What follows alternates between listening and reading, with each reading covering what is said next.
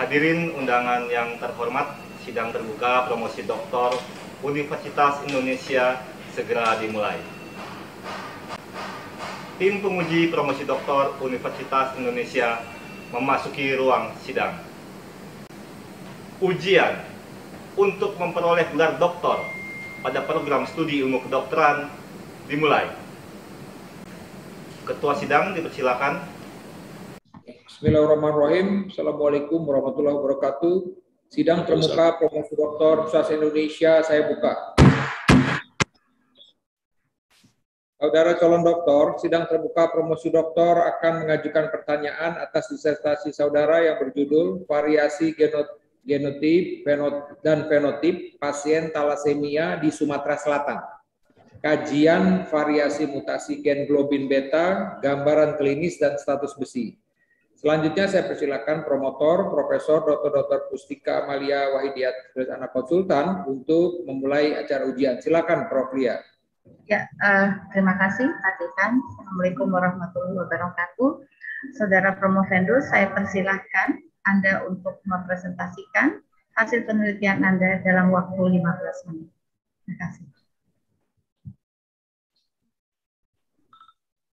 Yang terhormat promotor Profesor Dr. Dr. Pustika Amalia Wahidiat, spesialis anak konsultan.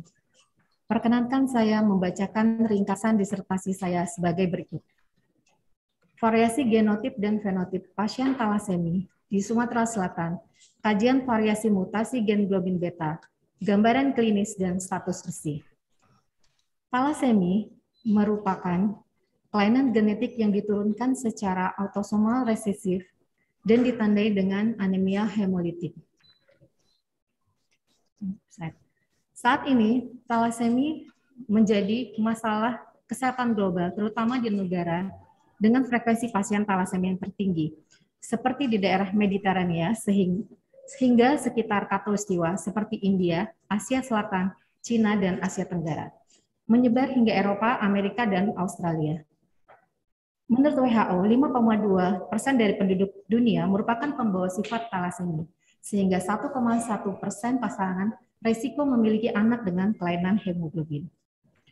Berdasarkan data, frekuensi pembawa sifat di Sumatera Selatan cukup tinggi, namun jumlah pasien talasemi berdasarkan data Perhimpunan Orang Tua Talasemi Indonesia atau POPTI, cabang Sumatera Selatan sampai ini hanya 308 orang. Hal tersebut di bawah angka perkiraan jumlah pasien talasemi yang seharusnya ada. Hal ini mungkin disebabkan oleh awareness yang rendah, genotip yang rendah, atau terdapat faktor lain yang mempengaruhinya. Sampai saat ini, penentuan jenis mutasi dan kajian ekspresi fenotip pada pasien talasemi di kelompok enik Sumatera Selatan masih sangat terbatas. Penelitian mengenai jenis mutasi talasemi di Indonesia juga masih terbatas, terutama pada etnik di Jawa. Beberapa jenis mutasi sangat dominan pada kelompok tertentu, bahkan pada etnis tertentu. Seperti penelitian Thailand menemukan mutasi yang unik hanya untuk populasi Thailand. Di Sumatera Selatan terdapat sejarah migrasi dan perkawinan antar suku Melayu dengan etnis Tionghoa, sehingga kajian molekuler akan membantu diagnosis dan tata laksana yang lebih baik. Tata laksana kausal di Indonesia saat ini belum ada, sehingga tata laksana pasien talasemi bersifat simptomatis berupa pemberian transfusi darah dan klasi besi seumur hidup. Sehingga penanggulangan talasemi, yaitu mencegah lahirnya pasien talasemi baru, kemampuan untuk mendeteksi adanya tidak cacat molekul yang mendasari pasien talasemi merupakan kunci utama dalam tata laksana penanggulangan talasemia. Untuk itu, kami memberikan beberapa hipotesis dengan tujuan penelitian, yaitu mengetahui variasi genotip dan fenotip pasien talasemi di Sumatera Selatan. Talasemi merupakan penyakit herediter yang disebabkan oleh berkurang atau tidak diproduksi rantai globin, baik rantai alfa maupun rantai globin beta. Dan talasemi memiliki manifestasi klinis yang sangat bervariasi, dari yang ringan atau tanpa gejala sampai di berat. Penyebab munculnya variasi klinis telah banyak diteliti, umumnya disebabkan oleh faktor genetik dan non-genetik. Faktor genetik antara lain adalah mutasi rantai globin beta itu sendiri, adanya koinheritan dengan thalassemia alfa, ataupun triplikasi dari rantai globin alfa. Sedangkan faktor non genetik yang ikut berperan adalah mempengaruhi manifestasi klinis antara lain infeksi, adanya zat oksidatif dalam tubuh seperti zat besi dan status besi. Faktor genetik mempengaruhi manifestasi klinis adalah mutasi rantai globin beta, baik mutasi ringan maupun berat. Dan faktor non-genetik adalah umur, jenis kelamin ataupun etnis, status gizi dan infeksi, dan juga parameter hematologi serta status besi. Metodologi penelitian yang kami kerjakan adalah komparatif cross-sectional, dilakukan di perawatan talasemi divisi hemato-onkologi anak Rumah Sakit Muhammad Husin Palembang. Alur penelitian yang kami beri adalah tahap 1, tahap 2, dan tahap 3. Tahap 3, kami mengidentifikasi mutasi gen globin beta dengan menggunakan sequencing DNA. Kami melakukan pada ekson 1, ekson 2 pada seluruh subjek penelitian, dan sebagian besar ekson 3. Pada intron kami mengerjakan sebatas mutasi yang sering terjadi di Indonesia. Hasil dan pembahasan alur dari pengambilan data penelitian ini adalah tahap pertama subjek yang berasal dari pasien talasemi dan kemudian tahap kedua screening keluarga yang uh, didapatkan sekitar 229 subjek.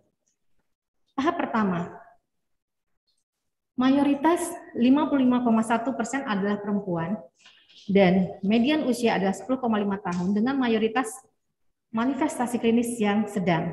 Ini serupa dengan penelitian di Semarang dan di Riau, tetapi sedikit berbeda dengan penelitian yang di Jakarta, di mana mayoritas adalah manifestasi klinis yang berat. Selanjutnya kami menunjukkan karakteristik subjek berdasarkan Mahidoskop. Scoring ini digunakan dengan kriteria usia saat terdiagnosis, usia pertama kali mendapatkan transfusi darah, rata hemoglobin pratransfusi, frekuensi kebutuhan transfusi darah, ukuran limfa, dan pertumbuhan linier. Karakteristik hematologi, analisis HB dan status besi, pada kelompok ringan, pada subjek dengan frekuensi transfusi darah yang sering, memiliki status besi ferritin serum ataupun saturasi transferin yang tinggi, di mana kelebihan zat besi pada pasien talasemi disebabkan adanya frekuensi transfusi darah yang sering, kepatuhan minum klasi yang tidak baik, ataupun disregulasi metabolisme besi pada pasien talasemia. Karakteristik subjek berdasarkan suku, di mana kami dapatkan 30 jenis asal suku, di mana mayoritas 77,3 persen suku berasal dari Sumatera Selatan. Mutasi yang terbanyak pada uh, pasien atau subjek penelitian kami pada terdapat 38 jenis mutasi Eh, pada pasien talasemia. Slide. Karakteristik mutasi berdasarkan derajat manifestasi klinis pada kelompok ringan didominasi oleh IVS 1 NT1 HB Malay dan pada kelompok sedang dan berat mayoritas adalah IVS 1 NT5 dan HBE. Berdasarkan Wahidian, mutasi pada IVS NT5 HBE memang memiliki spektrum klinis yang beragam, di mana variasi fenotip dari ringan sampai dengan berat.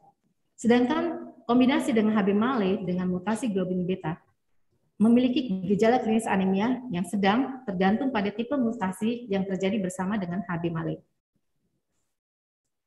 Ini adalah peta distribusi mutasi gen globin beta di Sumatera Selatan.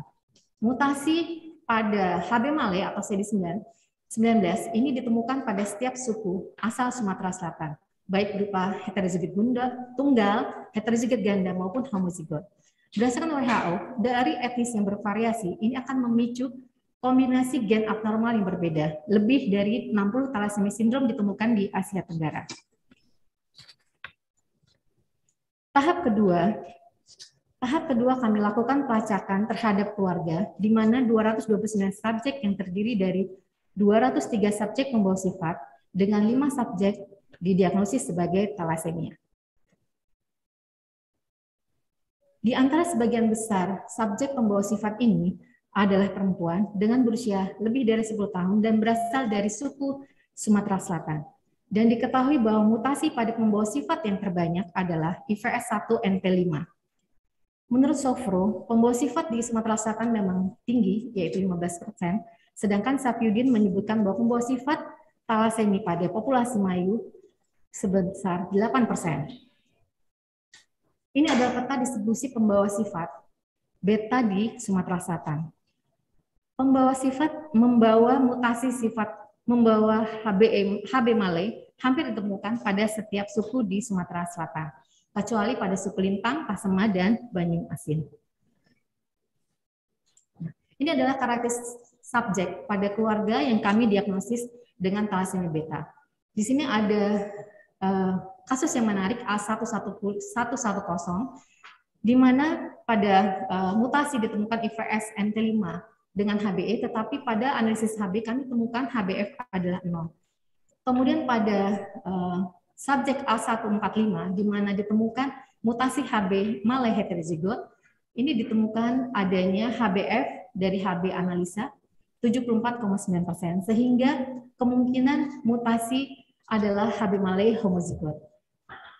Dari subjek yang berasal dari keluarga, kami ambil empat subjek untuk dilanjutkan bersama-sama dengan tahap pertama untuk dianalisis selanjutnya.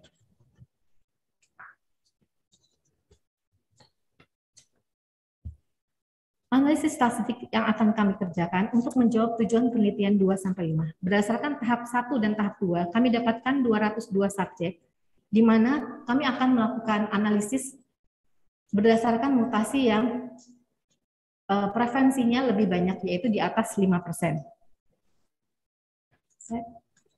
Dari hubungan mutasi globin dengan manifestasi klinis, tidak terdapat hubungan bermakna antara manifestasi klinis dengan adanya mutasi IVS1NT5-HBE, IVS1NT5-HB Malay, IVS1NT5 homozigot, IVS1NT5 heterozigot, dan IVS1NT5 CD41 dan 42. Hubungan variasi mutasi dengan gambaran hematologi, kami dapatkan terdapat hubungan yang bermakna antara kadar MCV, MCH, MCHC dengan mutasi IVS1 NT5HBE dan IVS1 NT5 homozigot. Terdapat hubungan antara kadar MCH dengan mutasi IVS1 NT5 dengan HB Malay. Terdapat hubungan bermakna antara kadar MCV dan MCH dengan mutasi IVS1 NT5 CD4142 tetapi tidak terdapat hubungan bermakna antara semua parameter hematologi dengan mutasi IVS1 NT5 heterozigot. Hubungan variasi mutasi dengan asal suku atau etnis terdapat hubungan bermakna antara asal atau suku etnis Sumatera Selatan dengan mutasi IVS1 NT5 HB. Hubungan variasi mutasi dengan status besi kami dapatkan tidak terdapat hubungan yang bermakna antara mutasi IVS1 NT5 HBE IVS 1 NT5 HB Malay, IVS 1 NT5 homozigot, IVS 1 NT5 heterozigot, dan IVS 1 NT5 CD4142 dengan status besi. Hubungan asal suku, gambar hematologi status besi dengan manifestasi di klinis, kami hanya mendapatkan hanya kadar HB yang memiliki hubungan yang bermakna dengan derajat manifestasi klinis, di mana kadar HB akan menurun seiring dengan meningkatnya derajat manifestasi klinis. Selanjutnya, hubungan variasi mutasi globin beta dengan derajat manifestasi klinis asal suku gambaran hematologi dan status besi, kami dapatkan bahwa MCHC merupakan variabel yang paling berpengaruh terhadap kemungkinan mutasi IVS 1 NT5-HBE dan IVS 1 NT5 homozigot.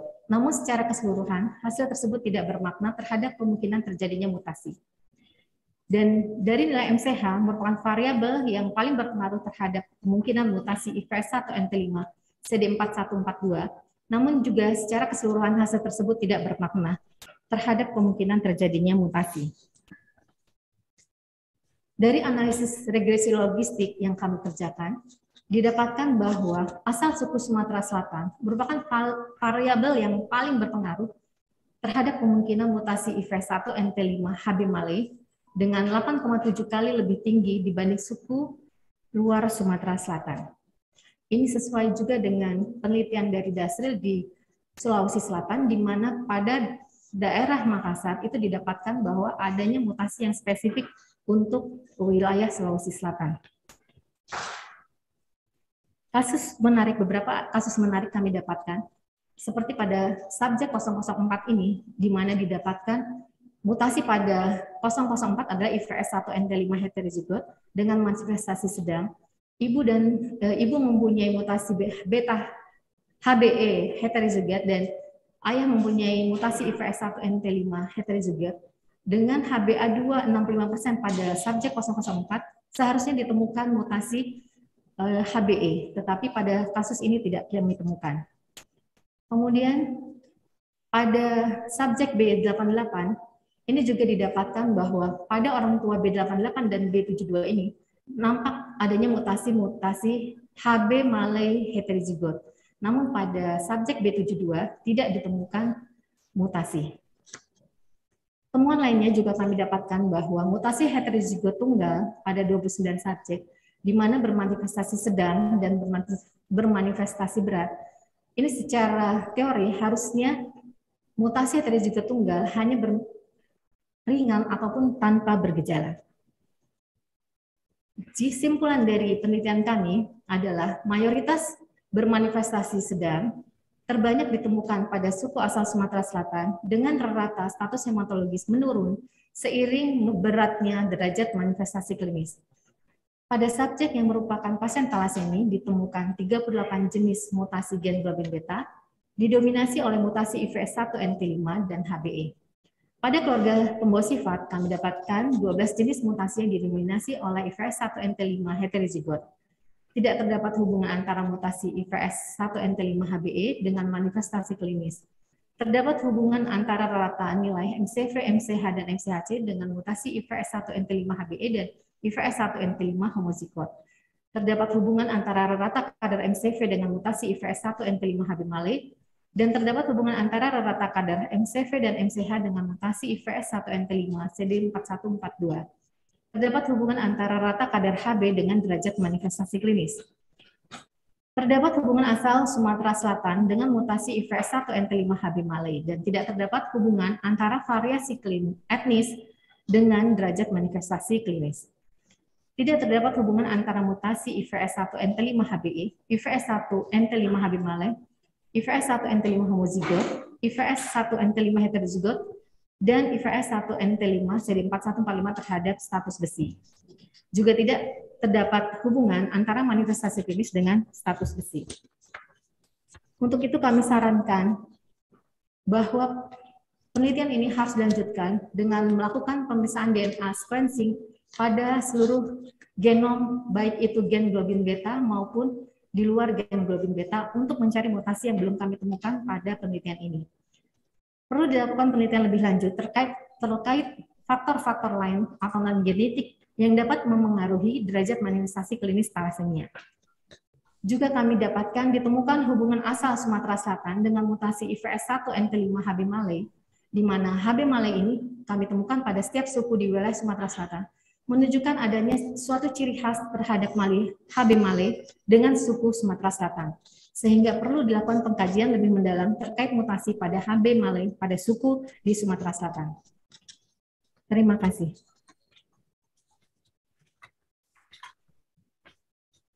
Ya, terima kasih Prof. Dr. Dian Buspitasari, Sedana Konsultan MKes. Baik, sebelum saya menyampai, uh, perminta, menyampaikan permintaan kepada para penguji untuk mengajukan pertanyaan dan sanggahan, saya ingin bertanya dulu apakah saudara siap untuk menjawab pertanyaan dan sanggahan dari para penguji? Insya Allah siap, Prof. Ya, terima kasih. Uh, baik, pertama saya persilakan kepada Ketua Program Studi, Profesor Dr. Dr. Fredro Penyakit Dalam Konsultan Penyakit Tropik Infeksi untuk mengajukan pertanyaan sanggahan. Silakan, Prof. Fredro. Baik. Assalamualaikum warahmatullahi wabarakatuh. Terima kasih Prof. Arif Aryalsyam sebagai pimpinan sidang. Selamat pagi, salam sejahtera untuk kita semua. Pertama-tama saya ingin mengucapkan selamat kepada Dr. Dian Puspitasari dan keluarga atas selesainya penelitian dokter hingga ujian promosi pada pagi hari ini. Pertanyaan saya sehubungan dengan hasil penelitian Anda tentang variasi genotipe dan fenotipe pasien talasemia di Sumatera Selatan. Dari hasil penelitian eh, secara khusus ditemukan tidak terdapat hubungan manifestasi klinis dengan mutasi dan juga tidak ada hubungan dengan status besi dengan mutasi. serta tidak ada hubungan juga variasi etnik dengan derajat manifestasi klinis. Ya. Akan tetapi ada hubungan antara MCV, MCH, MCHC dengan mutasi dan ada hubungan asal suku Sumatera Selatan dengan mutasi. Nah, berdasarkan hasil penelitian tersebut, ada tiga pertanyaan yang ingin saya sampaikan. Pertama adalah eh, mohon penjelasan apa temuan baru yang menurut Anda baru dibandingkan dengan penelitian-penelitian yang telah ada. Itu yang pertama. Kemudian yang kedua, apa dampaknya dari hasil temuan tadi terhadap pengelolaan pasien talasemia secara umumnya? Ya, itu pertanyaan nomor dua. Pertanyaan yang ketiga adalah khusus hasil penelitian hubungan antara asal suku Sumatera Selatan dengan mutasi, mohon penjelasan faktor di kenapa faktor mengapa faktor demografi dapat memengaruhi mutasi Mohon penjelasan apakah karena kebiasaan ataukah karena ada uh, perpindahan uh, pada masa lalu uh, penduduk di daerah Sumatera Selatan atau hal apa? Jadi pertanyaan kenapa khusus yang nomor tiga faktor demografi itu dapat memengaruhi mutasi. Mohon bukti-bukti uh, yang uh, Anda ketahui untuk disampaikan. Terima kasih.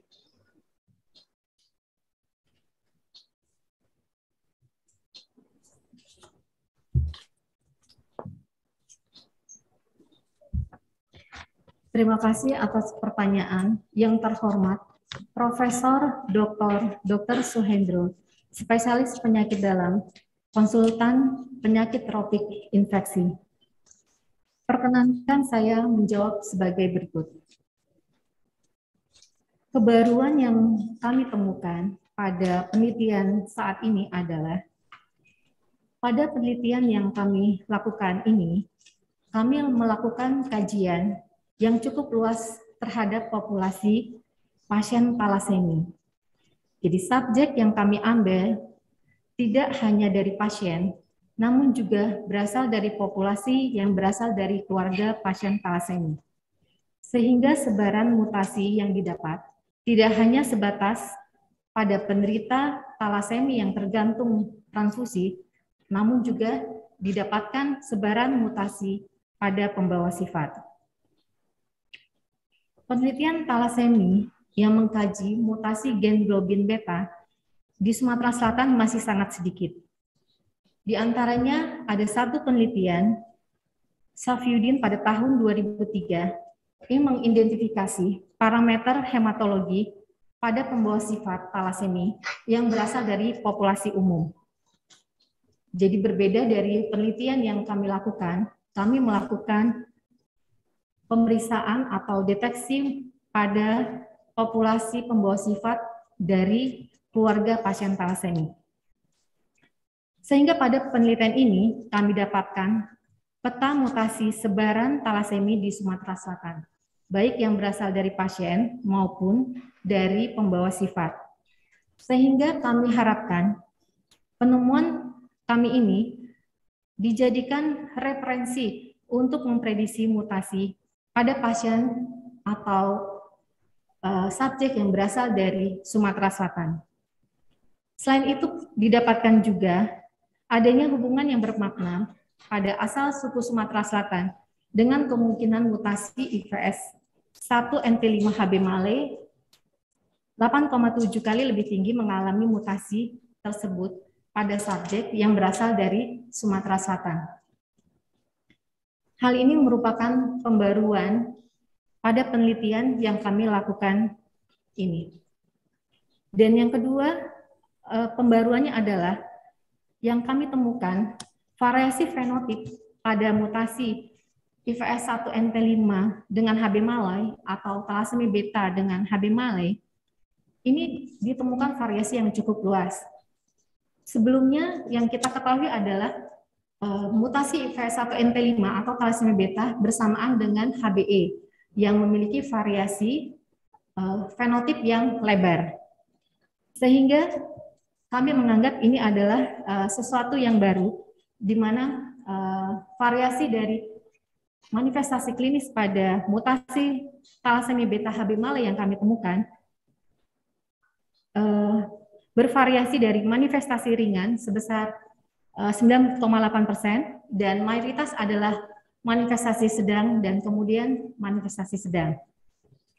Dan juga uh, penelitian kami mendapat uh, status besi dari status besi kami me melakukan pemisahan status besi berupa indeks transferin dan uh, pada uh, tata laksana atau SOP talasemi di uh, Indonesia kadar status besi yang diperiksa adalah uh, ferritin serum dan saturasi transferin. Menurut kami, uh, status besi berupa indeks transferin ini dapat ditambahkan karena indeks transferin ini memiliki nilai yang lebih menggambarkan adanya kelebihan besi bebas pada pasien yang kelebihan zat besi. Selanjutnya juga kami temukan adanya mutasi HB Malay yang merupakan mutasi yang paling sering di uh, suku Sumatera Selatan dan di mana HB Malay ini sangat sulit sebetulnya untuk didiagnosis. Karena pada pemisahan HB analisis HB Malay ini atau CD19 terdapat uh, pada HB pada HBA sehingga apabila kita menemukan pasien dengan anemia hipokromikrositat dengan HB analisis yang normal sering kali itu terlihat sebetulnya seperti normal. Jadi HbA-nya nilainya normal, tetapi uh, sebetulnya mungkin terdapat mutasi HB Malay. Dan uh, pada tata laksana uh, secara umum, yaitu dengan pemberian pemberian besi pada anak dengan uh, anemia hipokromikrositat ataupun tanpa anemia tetapi sudah memiliki hipokromikrositat, biasanya akan langsung diberikan zat besi.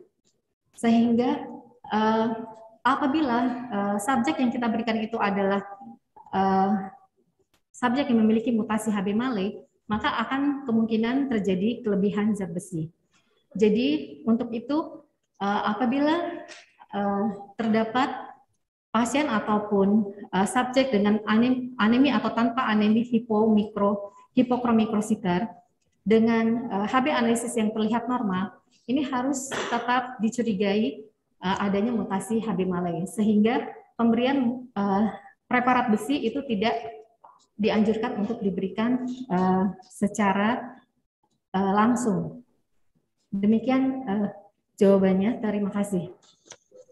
Uh, mengenai tadi, uh, tadi pertanyaan nomor duanya mungkin sudah Eh, secara sepintas sudah disampaikan yaitu apabila ditemukan anemia hipokrom mikrositik kemudian kemungkinan daripada malai itu uh, bisa terjadi peningkatan zat besi. Tapi yang khususnya nomor tiga uh, mengenai kenapa uh, asal suku Sumatera Selatan ada hubungannya dengan mutasi karena apa penjelasannya faktor demografi itu dapat memengaruhi mutasi. Maaf Prof. Uh, uh, saya belum menjawab pertanyaan nomor tiga. Terima kasih. Jadi uh, pada Provinsi Sumatera Selatan, dari sejarahnya dahulu uh, mendapatkan uh, banyak uh, apa namanya uh, datangnya orang-orang atau budaya yang datang ke uh, Seri, uh, ke Sumatera Selatan jadi dari sebelumnya ada Kerajaan Sriwijaya, kemudian uh, ada Majapahit, kemudian uh, ada kolonial Jepang maupun uh, Belanda. Ini uh, akan mempengaruhi mutasi pada uh, pasien. Jadi jenis mutasi karena migrasi. Jadi Sumatera Selatan itu merupakan uh, daerah di mana banyak sekali kebudayaan yang masuk ke dalam uh, wilayah ini. Sehingga inilah yang menyebabkan variasi mutasi yang bisa khusus ataupun sama dengan berasal dari uh, migrasi subjek tersebut. Terima kasih. Baik, terima kasih uh, jawabannya. Cukup Pak Arikan. Ya, terima kasih Prof. Suendro. Uh, berikutnya saya persilakan kepada eh, Doktor Dr. Arya Kekali, Master Teknologi Informatika untuk mengemukakan pertanyaan sanggahnya. Silakan Dr. Arya. Terima kasih, Pak Dekan Prof. Arif Ariel. Eh, selamat untuk Dr. Dian Puspitasari ya atas pencapaiannya dan sama juga untuk seluruh keluarga dan jaringnya membantu ya. Uh, ini ada pencapaian yang baik sekali uh, terkait Sumatera Selatan adalah provinsi dengan talasemia terbanyak dengan mayoritas manifestasi yang sedang. Itu temuan dari Dr. Dian. Namun di sini yang menarik adalah uh, dari mutasinya itu banyak yang berhubungan dengan MCV meskipun tidak ada hubungannya dengan manifestasi klinis. Pertanyaan pertama saya adalah apakah perubahan signifikan MCV yang ditemukan itu masih subklinis sehingga belum ada makna, belum ada manifestasi klinisnya. Sehingga masih perlu untuk diantisipasi ke depannya. Dan bagaimana juga kaitannya dengan penelitian awal Dr. Dian bahwa MCV itu bisa dijadikan screening untuk thalassemia? Itu pertanyaan pertama. Ya. Nah, pertanyaan kedua adalah eh, di sini ada temuan menarik lagi bahwa suku asli Sumatera Selatan itu 8,7 kali berisiko mutasi ya thalassemia dibandingkan suku di luar. Dan ini menarik. Nah, namun pertanyaan saya adalah eh, bagaimana makna klinis untuk penerapannya dalam tata laksana thalassemia di pelayanan primer atau sekunder khususnya di Sumatera Selatan. Apakah ada kesiapan khusus yang harus disiapkan di fasilitas kesehatan di Sumatera Selatan, khususnya terkait early diagnosis and prompt treatmentnya thalassemia. Gitu. Nah, dokter sendiri ada rekomendasi tentang penerapan molekuler dan whole genome. Nah, mohon juga disampaikan analisis bagaimana kesiapan uh, sarana prasarana di Vaskes Sumsel saat ini uh, terkait usulan dokter, sehingga nanti uh, mungkin ada rencana untuk advokasi ke depannya. Terima kasih. Silakan dokter Dian.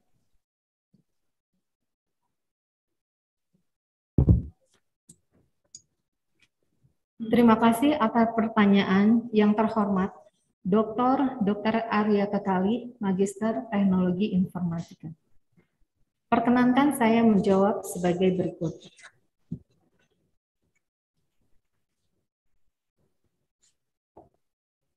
Pada penelitian ini, kadar MCH memang memiliki hubungan dengan mutasi IVS1 NT5 HB Male. Sedangkan kadar MCV tidak memiliki hubungan dengan antara klinis ringan sedang dan klinis berat. MCV sebetulnya adalah atau indeks eritrosit itu terdiri dari nilai MCV, MCH, dan MCHC, di mana indeks eritrosit ini biasanya kami gunakan untuk mendeteksi adanya anemia pada anak. Jadi, nilai indeks eritrosit ini sangat membantu bagi kami untuk menentukan jenis anemia pada pasien. MCV adalah volume rata-rata sel darah merah yang didapatkan dari hasil hematokrit dibagi eritrosit. Dan ini adalah menunjukkan ukuran eritrosit. Dan jika rendah, ini akan kami sebut adalah mikrositik. Sedangkan MCH merupakan kandung, kandungan HB per sel darah merah yang mencerminkan HB per sel darah merah. Nah, biasanya indeks eritrosit berupa MCV dan MCH digunakan sebagai alat screening yang murah dan mudah dalam menegakkan diagnosis talasemi. Nah, tetapi pada penelitian ini, kenapa tidak memiliki hubungan antara MCV dengan uh, mutasi ataupun manifestasi klinis? Pada penelitian kami, kami lakukan pemeriksaan hematologi ini setelah atau sebelum pasien ditransfusi pada pasien yang sering terjadi transfusi.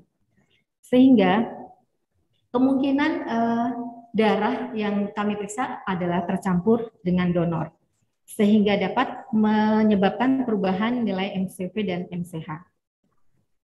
Selain itu, memang pada pasien talasemia yang dengan manifestasi klinis yang sedang dan berat, akan terjadi hiperaktivitas eritropoiesis, sehingga juga akan uh, menyebabkan gangguan dari nilai MCV dan MCH.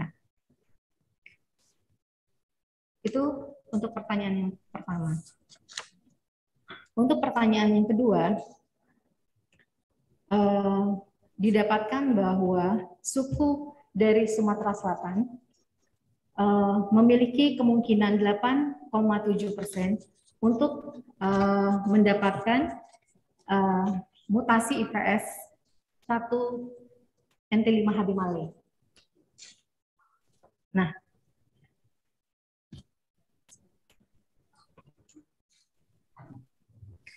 jadi makna klinisnya adalah jika kita uh, pasien ataupun subjek yang datang ke kita berasal dari Sumatera Selatan dengan nilai uh, anemia ataupun dengan hipokrom mikrositer, maka yang harus kita lakukan adalah memastikan bahwa uh, pasien ini tidak mengalami atau harus kita curigai uh, pasien memiliki mutasi IVS1 NP5HB maling. Jadi uh, hubungan asal Sumatera Selatan dengan mutasi IVS1 NP5HB Male, di mana kami menemukan mutasi HB Male pada setiap suku di wilayah Sumatera Selatan, menunjukkan adanya suatu ciri khas terhadap HB Male dengan suku di Sumatera Selatan. Sehingga pasien ataupun uh, seseorang yang datang ke kita dengan uh, nilai HB yang rendah, dengan nilai MCV dan MCH yang rendah, itu bisa kita uh, periksakan terlebih dahulu untuk ke arah mutasi HB Malay. Demikian jawaban saya. Terima kasih. Baik, yang terakhir yang untuk kesiapan Eh, menurut dokter, kajian dokter untuk kesiapan sarana prasarana khususnya di fasilitas kesehatan di Sumsel untuk rekomendasi dokter penerapan pemeriksaan molekuler dan whole genome dok. Silakan dok. Ya, terima kasih. Jadi um, pada uh, layanan di Sumatera Selatan saat ini uh, kami tidak memiliki uh, lembaga biologi molekuler untuk memeriksakan mutasi uh, pada talasemia ini. Sehingga pada saat ini kami masih mengirimkan uh, untuk ke luar kota Palembang. Nah, untuk itu berdasarkan hasil yang uh, kami temukan pada penelitian ini bisa menjadi dasar Eh, bahwa pemeriksaan analisis molekuler di Sumatera Selatan harus disupport. Karena beberapa mutasi yang kami temukan, apalagi yang khusus uh, seperti HB Male, ini tidak bisa didiagnosis atau sering akan terjadi misdiagnosis jika tidak dilanjutkan dengan pemeriksaan analisis molekuler. Jadi untuk ke depannya Eh, dari hasil penelitian ini, kami bisa uh, meminta support dari pemerintah daerah maupun pemerintahan pusat untuk uh, memberikan atau membantu layanan yang pengembangan laboratorium bio, biomolekuler di Sumatera Selatan, baik yang berbasis rumah sakit maupun berbasis universitas. Terima kasih. Baik, terima kasih. Jawabannya sangat memuaskan. Semoga perjuangan dokter dia nanti bersama uh, perhimpunan profesi dan institusi yang lain sukses ya dok untuk advokasinya ke pemerintah. Terima kasih Prof. Ari, saya kembalikan. Ya, terima kasih Dokter Arya. Berikutnya saya persilakan kepada Profesor Dr. Jaya Jadiman Gatot SPA Konsultan untuk menyampaikan uh, pertanyaan atau sanggahannya. Silakan Prof. Jaya. Baik, maaf Eh, terima kasih Bapak Dekan. Eh, pertama-tama saya juga ingin mengucapkan selamat pada khusus pada dokter Dian ya eh, termasuk keluarga yang telah berhasil meneliti berbagai macam mutasi di Sumatera Selatan. Ini sangat menarik. Tetapi bagi saya, saya tidak akan membahas mengenai mutasinya. Tapi menurut saudara, yang saudara citasi dari pernyataan WHO pada tahun 2018, ya, saudara mengatakan bahwa di Indonesia ini kemungkinan nanti akan lahir sekira 2.500 anak-anak talasemia setiap tahunnya. Ini saya agak khawatir juga ya. Di, dikaitkan dengan tadi masalah yang juga oleh Prof. Wendro dikatakan bahwa tidak ada hubungan klinis antara mutasi, tidak ada hubungan antara status besi dengan mutasi. Kalau demikian, saya khawatir keadaan ini akan didiamkan, tidak diteliti lebih lanjut, dan ke depannya mungkin makin banyak eh, apa penyandang talasemia itu di Sumatera bahkan mungkin di tempat lain. Nah, saya ingin meminta saran atau komentar saudara, kira-kira apa yang akan kita lakukan untuk masyarakat khususnya di Sumatera Selatan dan juga untuk Indonesia, ya. karena uh, uh, apa namanya uh, screening itu kalau di tempat-tempat lain perlu apakah kita perlu mengadakan screening atau mencari saja dulu mutasi ya sehingga dengan demikian kalau eh, apa dua-duanya bisa dilakukan kita bisa menur mungkin menurunkan eh, prevalensi penyandang hemofilia di Indonesia walaupun itu sangat sulit kalau di apa di WHO dikatakan memang sulit, eh, sulit sekali nah mohon saran atau pendapat saudara. Terima kasih.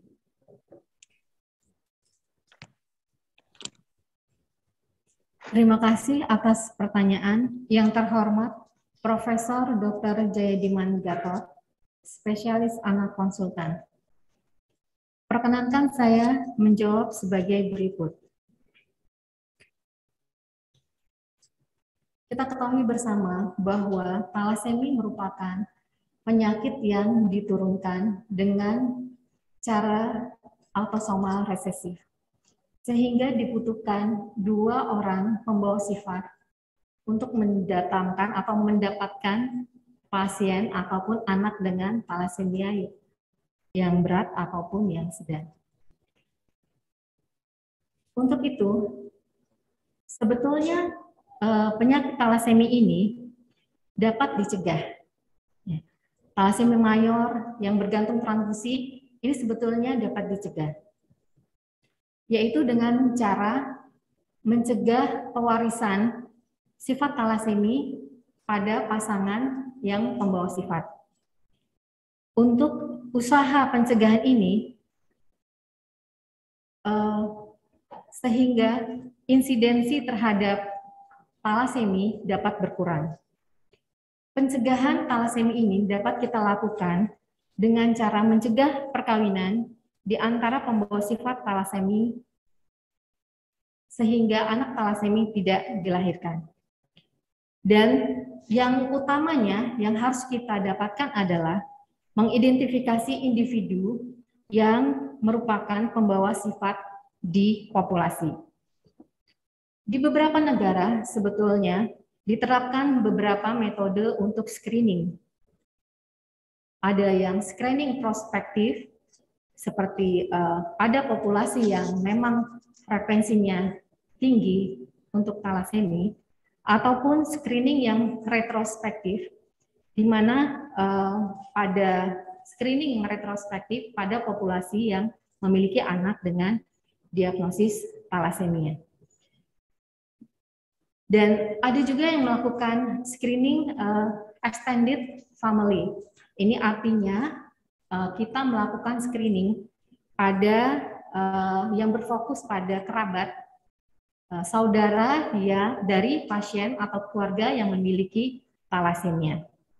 Sebetulnya extended screening ini sangat baik untuk mendapatkan pembawa sifat dari talasemi.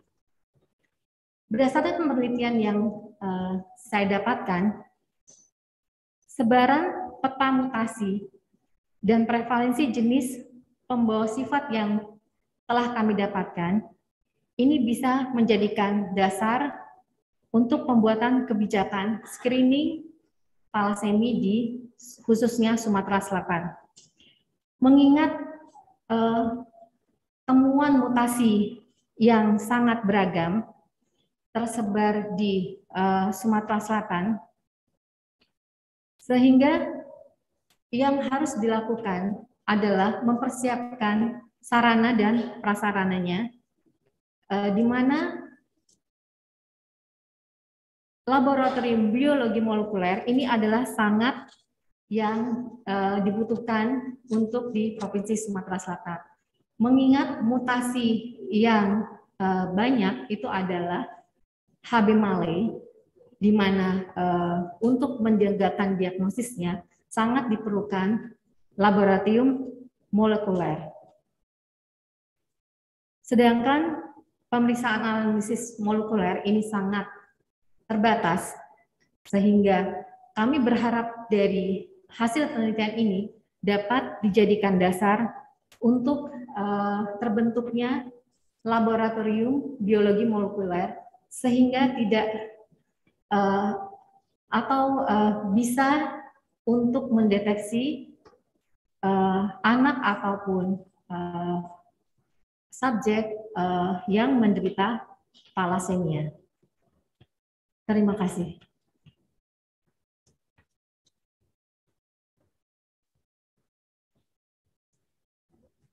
Karena screening itu memang sangat perlu. Dengan demikian, kita harapkan bahwa ke depan nanti tidak lagi ada sekitar 2.500 anak-anak yang dilahirkan uh, sebagai talasemia mayor. Terima kasih atas jawabannya. Terima kasih Prof. Jaya. Berikutnya saya persilakan kepada penguji tamu kita dari Fakultas Kedokteran Universitas Pajajaran, Dr. Dr. Lelani Reniarti, anak konsultan MK. Silakan, Dok. Uh, Assalamualaikum warahmatullahi wabarakatuh. Uh, salam uh, sejahtera dan selamat pagi. Uh, pertama-tama, izinkan kami menyampaikan terima kasih yang sebesar-besarnya pada Prof. Ari selaku Dekan Fakultas selalu Dekan Fakultas Kedokteran Universitas Indonesia dan juga kepada, kepada Ketua Program Studi S3 Ilmu Kedokteran yang juga termasuk dalam Ketua Tim Penguji yaitu Profesor Dr. Suhendro dan tim promotor yang kita oleh Prof. Dr. Uh, Pustika Amelia SPAK yang telah memberikan kesempatan pada saya untuk uh, ikut serta sebagai tim penguji Kemudian uh, yang kedua, saya juga menyampaikan selamat dan apresiasi yang sedalam-dalamnya dan selamat pada Dian dan keluarganya bahwa Dr. Dian telah mencapai tahapan sidang promosi ini hasil penelitian yang baik dengan usaha yang keras dengan menyampaikan dengan mengumpulkan data dari penyandang talasemia maupun pembawa sifat talasemia. Pada penelitian ini uh, telah berhasil mengidentifikasi manifestasi klinis, parameter laboratorium, HB analisa, dan status besi pada penyandang talasemia, yang mana empat di antaranya justru berasal dari uh, keluarga. ya. Kalau kita melihat bahwa uh, tipe mutasi itu sangat banyak, ya, yang sangat bervariasi, yang khusus di uh, untuk mutasi di talasemia di Sumatera Selatan ini, apakah apakah terdapat kesesuaian tipe beta globin pada thalassemia di Sumatera Selatan ini, khususnya di daerah Asia, ataupun ada temuan baru yang menyatakan bahwa ternyata bukan dari daerah Sumatera Selatan gitu. Tadi sudah sebutkan bahwa ternyata HB Malay adalah tipe uh, yang ditemukan pada semua suku. Tapi bagaimana tipe mutasi lainnya? Apakah berkaitan? Kemudian kita melihat bahwa ternyata pada penelitian ini juga menunjukkan bahwa walaupun tidak ada kemaknaan manifestasi klinis dengan tipe mutasi, ternyata pada penyandang talasemia itu yang mempunyai tipe, tipe mutasi heterozigot ganda yang sebetulnya mempunyai manifestasi klinis yang uh, apa namanya uh, asimptomatis ternyata juga mempunyai manifestasi klinis sedang dan berat. Demikian misalnya pada IP1 uh, entaima heterozigot juga HBE heterozigot. Di samping itu ada juga uh, apa namanya uh, bagaimana uh, pandangan dari Dr. Jat untuk menjelaskan fenomena ini. Yang ketiga, saya melihat bahwa dari data uh, karakteristik kalau kita melihat bahwa ternyata ada variasi hubungan antar mutasi dengan gambaran klinis ya uh, juga suku yang di mana suku HB Malay itu uh, suku di uh, Sumatera Selatan itu mempunyai 8,7 kali lebih besar kemungkinan untuk mengalami mutasi F1 N5 HB Malay ya. Dan ini kalau dikaitkan dengan uh, pelayanan dan uh, apa namanya uh, deteksi dini, apa kira-kiranya apa yang akan dilakukan oleh dokter Dian? Apakah mungkin berdasarkan parameter hematologi mana yang uh, baik? Apakah dokter Dian akan uh, karena kita ketahui Dian ini meneliti apa namanya penyandang talas uh, pembawa sifat ini yang tidak dilakukan oleh center lain yang khusus uh, di Sumatera Selatan ini uh, apakah apa yang dilakukan oleh dokter Dian ini yang mendeteksi tipe mutasi atau mutasi uh, pembawa sifat talasemi itu dapat dilakukan pada populasi umum di Sumatera Selatan ini dan bagaimana aplikasinya. Baiklah, terima kasih. Sekian.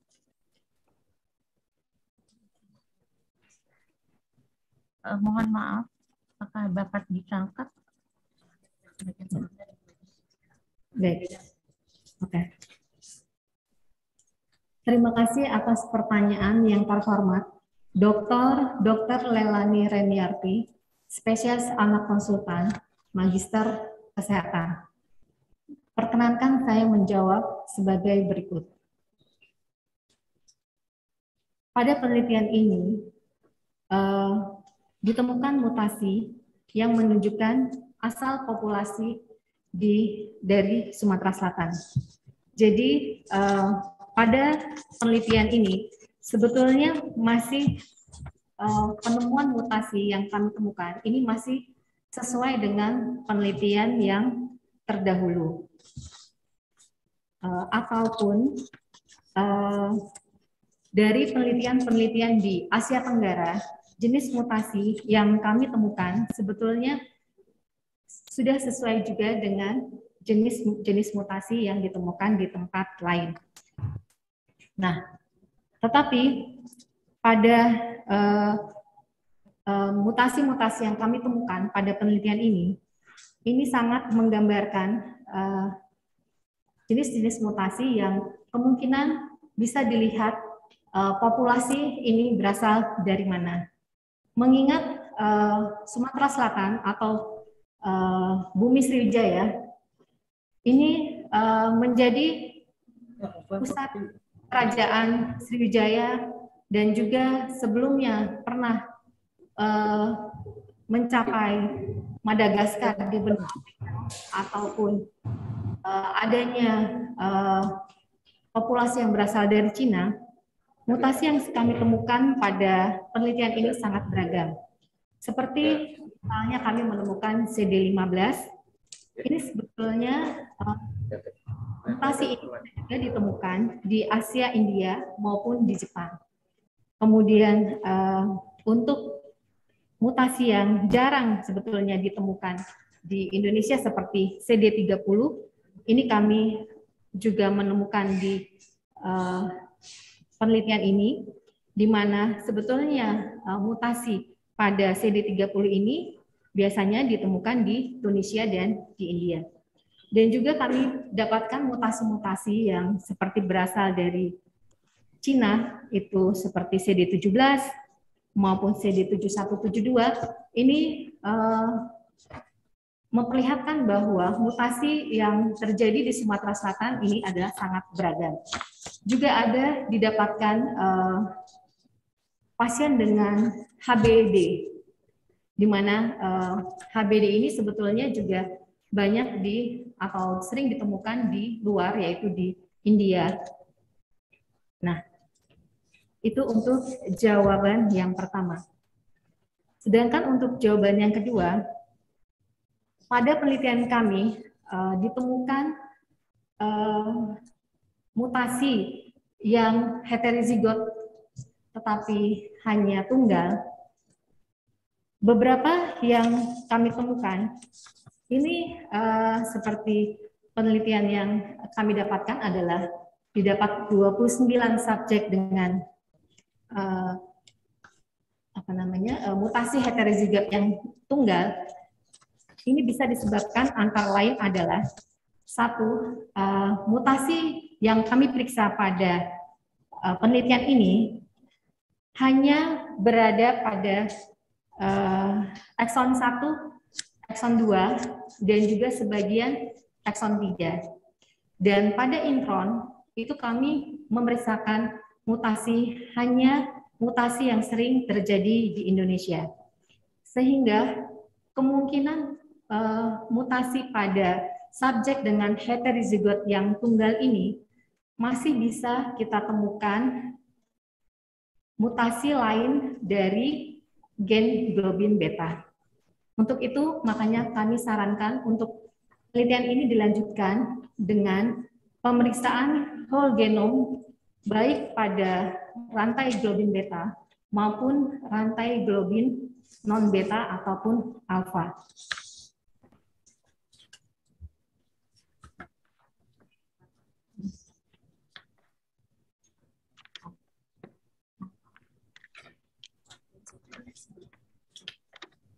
Baik.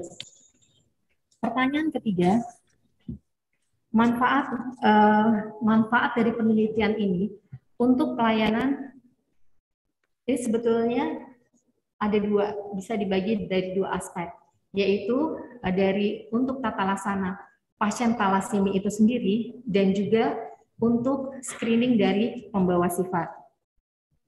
Untuk tata laksana pada pasien talasemi, berdasarkan penelitian yang kami dapatkan, kami uh, mendapatkan bahwa pada pasien dengan manifestasi klinis yang ringan, selama ini kami lakukan tata laksana sesuai dengan SOP secara umum, yaitu uh, memberikan transfusi jika HB kurang dari 8 ataupun 9. Jika kita lihat dari uh, penelitian ini, ternyata uh, pada kelompok yang ringan mengakibatkan kelas uh, status besi atau pada pasien dengan karakteristik klinis yang ringan memiliki status besi yang tinggi. Berdasarkan penelitian ini, berdasarkan jenis mutasi yang ditemukan, seharusnya dilakukan tata laksana itu sesuai dengan manifestasi klinis dan juga mutasi yang ditemukan. Seperti yang saya contohkan tadi, pada pasien yang uh, manifestasi klinis yang ringan, ternyata tidak uh, tidak perlu untuk melakukan transfusi setiap kali HB di bawah 9. Kita harus tahu dulu atau kita harus melihat bahwa uh, apa penyebab dari penurunan HB ini. Biasanya pada yang ringan, HB akan turun jika terjadi infeksi ataupun inflamasi. Sehingga dari penelitian ini bisa kita ubah tata laksana terhadap pasien talasemi yang telah kami lakukan selama ini di Rumah Sakit Muhammad Husin. Sedangkan untuk deteksi dini pada pembawa sifat, berdasarkan hasil penelitian ini, kami mendapatkan gambaran hematologi tertentu untuk tiap-tiap mutasi yang ditemukan. Pada pedoman tata laksana talasemi sebelumnya, untuk mendeteksi pembawa sifat, eh, diberikan penilaian MCV adalah kurang dari 80 dan MCH adalah kurang dari 27. Pada penelitian kami, didapatkan batas uh, nilai-nilai hematologi MCV dan MCH ini uh, sedikit berbeda dibandingkan dengan uh, yang ada di pedoman pelayanan talasemi di Indonesia. Contohnya pada mutasi beta positif seperti uh, pada HB Male ataupun HBE, MCV yang kami dapatkan adalah kurang dari 83 dengan nilai MCH adalah kurang dari 30. Dan HB Male kami dapatkan MCV kurang dari 81 dan MCH kurang dari 25. Nah, untuk ini jika kami uh, mengaplikasikan secara umum uh, dari pedoman tata laksana layanan talasemi, maka akan uh, pada saat screening ini akan uh, tidak terjaring uh, pasien ataupun subjek yang seharusnya mungkin adalah pembawa sifat.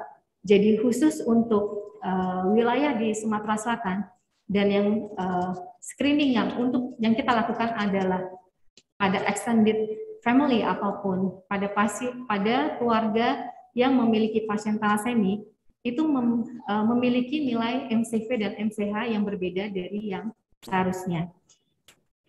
Dan juga uh, dapat diaplikasikan untuk uh, penelitian kami ini untuk menentukan jenis mutasi apa yang sebetulnya terjadi pada subjek. Misalnya, uh, pada nilai tertentu, nilai MCH atau MCHC, maka kita akan bisa menyarankan jenis mutasi yang lebih spesifik untuk dilakukan sehingga dapat menghemat uh, harga untuk pemeriksaan uh, jenis mutasi ini.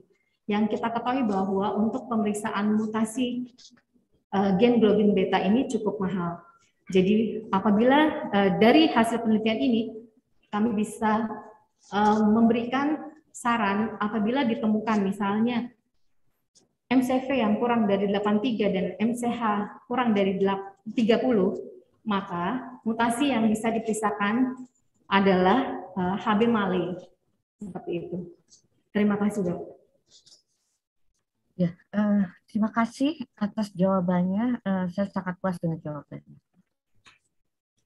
Ya, terima kasih, Dokter Lelani. Berikutnya saya persilakan kepada Dokter Iswari Stianingsi, anak PhD, uji kita dari Lembaga Eijkman untuk mengungkapkan pertanyaan sanggahannya. Silakan uh, Dr. Iswari. Terima kasih Profesor Dr. Dr. Ari Fahrial Syam atas kesempatan diberikan.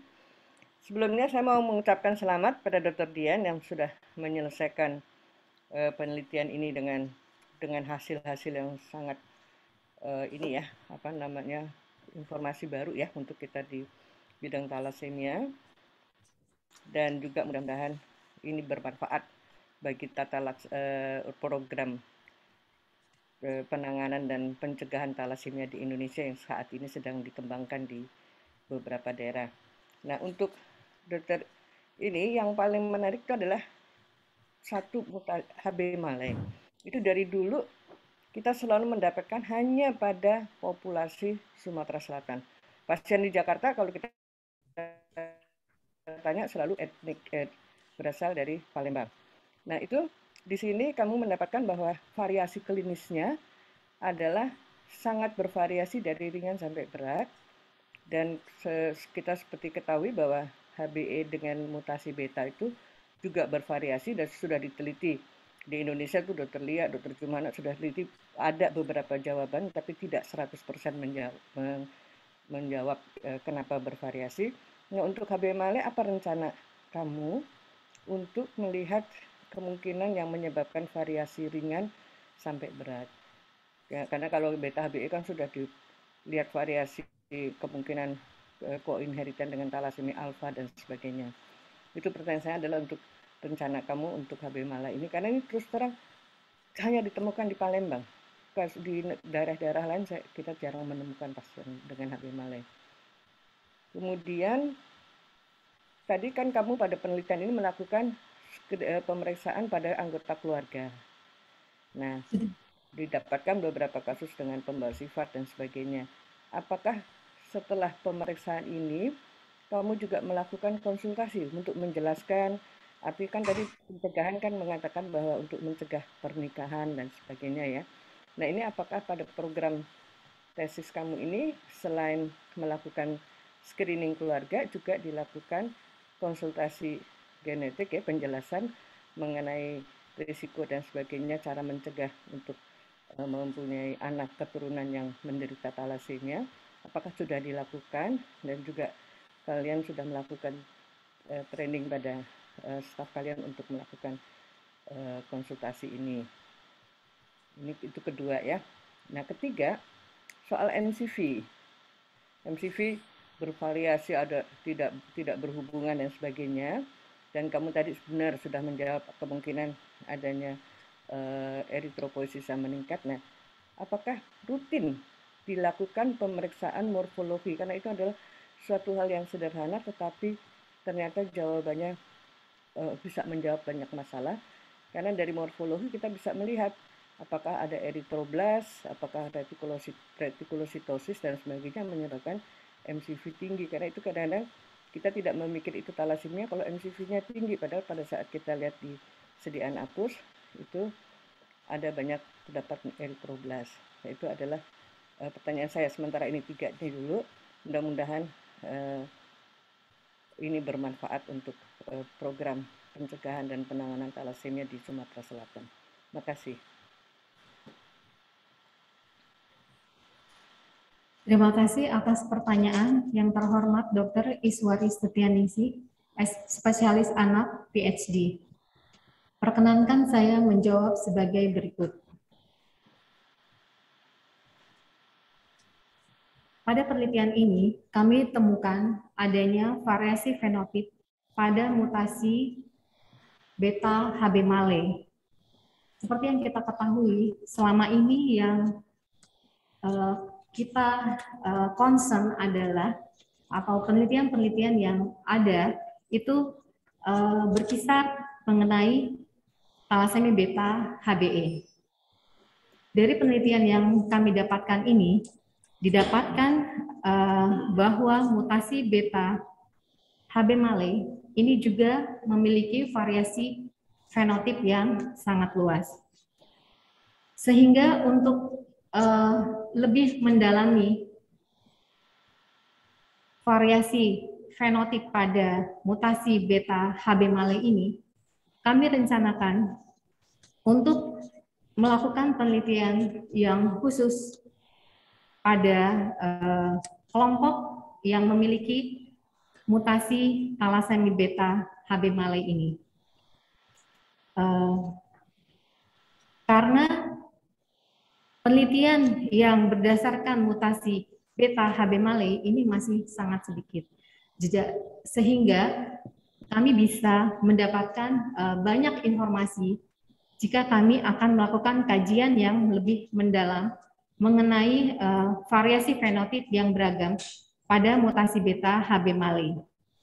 Karena kami dapatkan pada penelitian ini 9,8 persennya adalah mutasi eh, manifestasinya adalah ringan dan 67,2 persen bermanifestasi sedang, sedangkan 23 persen adalah bermanifestasi berat.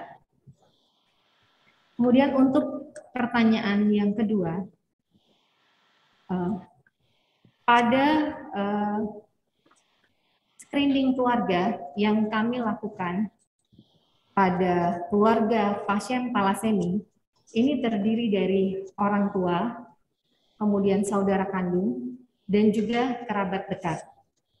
Setelah kami dapatkan hasil hematologi di awal, kemudian adanya status besi, dan selanjutnya adalah analisis DNA.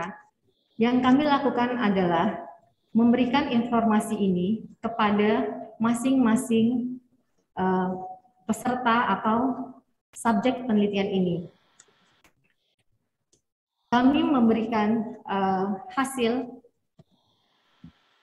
uh, penelitian ini ataupun hasil dari pemeriksaan yang kami lakukan pada uh, keluarga ini diikuti juga dengan uh, pendidikan atau edukasi di mana jika memang ternyata uh, keluarga ini merupakan pembawa sifat, maka kami akan memberitahukan apa yang uh, mereka alami. Jadi kita akan beritahu bahwa mereka adalah pembawa sifat dan jika akan menikah, maka uh, calon dari pasangannya adalah harus tidak membawa sifat dari talasemi. Jadi harus disyaratkan untuk melakukan pemeriksaan hematologi pada pasangannya.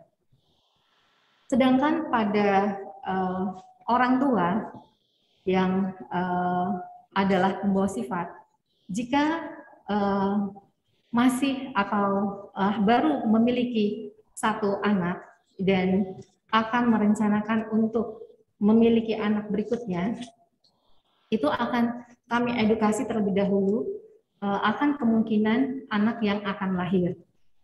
Dan akan diberikan pilihan apakah memang uh, akan uh, tetap memiliki rencana memiliki anak dengan konsekuensi adalah kemungkinan anak yang akan lahir 25% adalah menderita talasemia. Kemudian kita juga berikan pilihan bahwa uh, kita bisa melakukan antenatal diagnosis. Jadi pada saat uh, ibu mengandung, tentu akan bisa kita lakukan pemeriksaan DNA pada uh, calon dari janin tersebut. Karena kita telah memiliki data dari mutasi dari kedua orang tuanya. Kemudian Uh, untuk yang ketiga,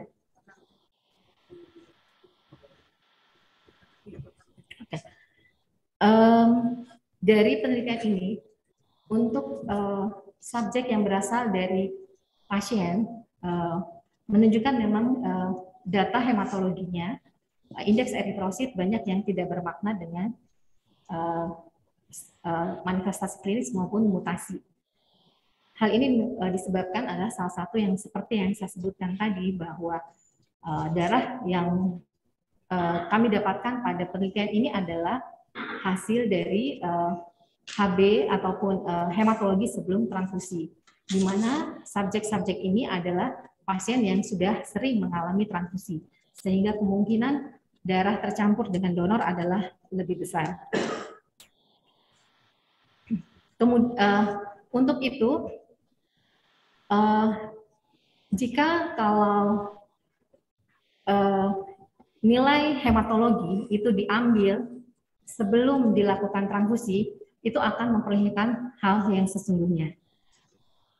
Jikapun uh, misalnya ada seorang pasien yang sudah ditransfusi dan uh, belum uh, dilakukan pemeriksaan lanjutan untuk melihat apakah pasien ini thalassemia atau bukan, maka uh, bisa kita lakukan pemisahan yang sederhana, yaitu hapusan darah tepi.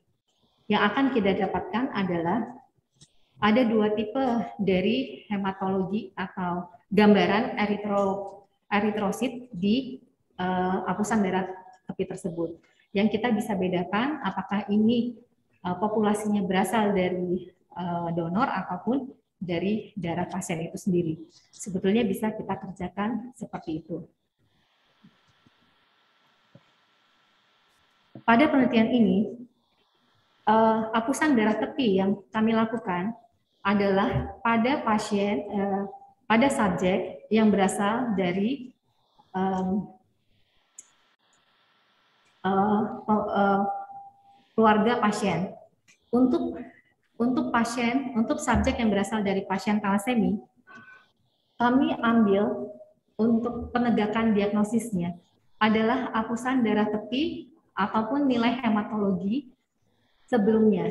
Jadi sebelum beberapa subjek penelitian yang kami dapatkan adalah memang darah sebelum dilakukan transfusi. Tetapi jika ada yang uh, meragukan jika setelah uh, subjek ini telah dilakukan transfusi, maka kami juga akan melakukan pemeriksaan hapusan darah tepi. Dan ini dilakukan uh, atau dibaca uh, oleh dokter spesialis patologi klinisnya. Terima kasih. Terima kasih atas jawabannya yang jelas ya.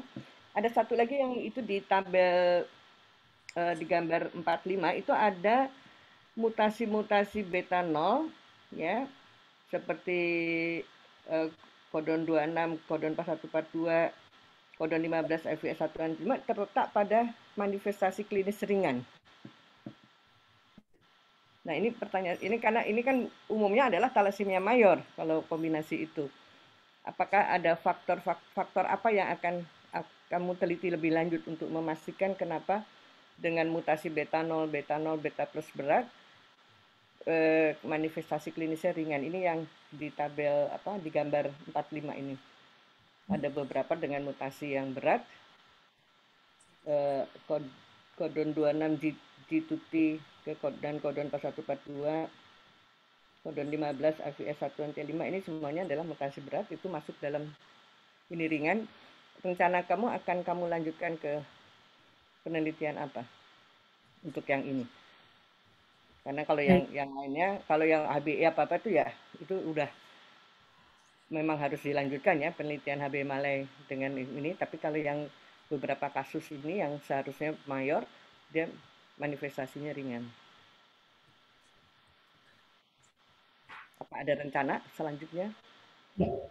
Uh, Faktor apa yang mempengaruhi mereka menjadi klinis ringan? Ya. Pada mutasi beta 0, secara secara teori harusnya bermanifestasi sedang ataupun berat. Tetapi pada penelitian yang kami dapatkan, uh, masih terdapat uh, mutasi yang berat atau beta 0 bermanifestasi uh, klinis yang ringan. Untuk itu, uh, penelitian yang harus dilanjutkan adalah penyebab mencari penyebab uh, mutasi yang beta 0 tetapi bermanifestasi uh, klinis yang ringan adalah mencari faktor genetik lain yang menyebabkan uh, mutasi tersebut menjadi ringan.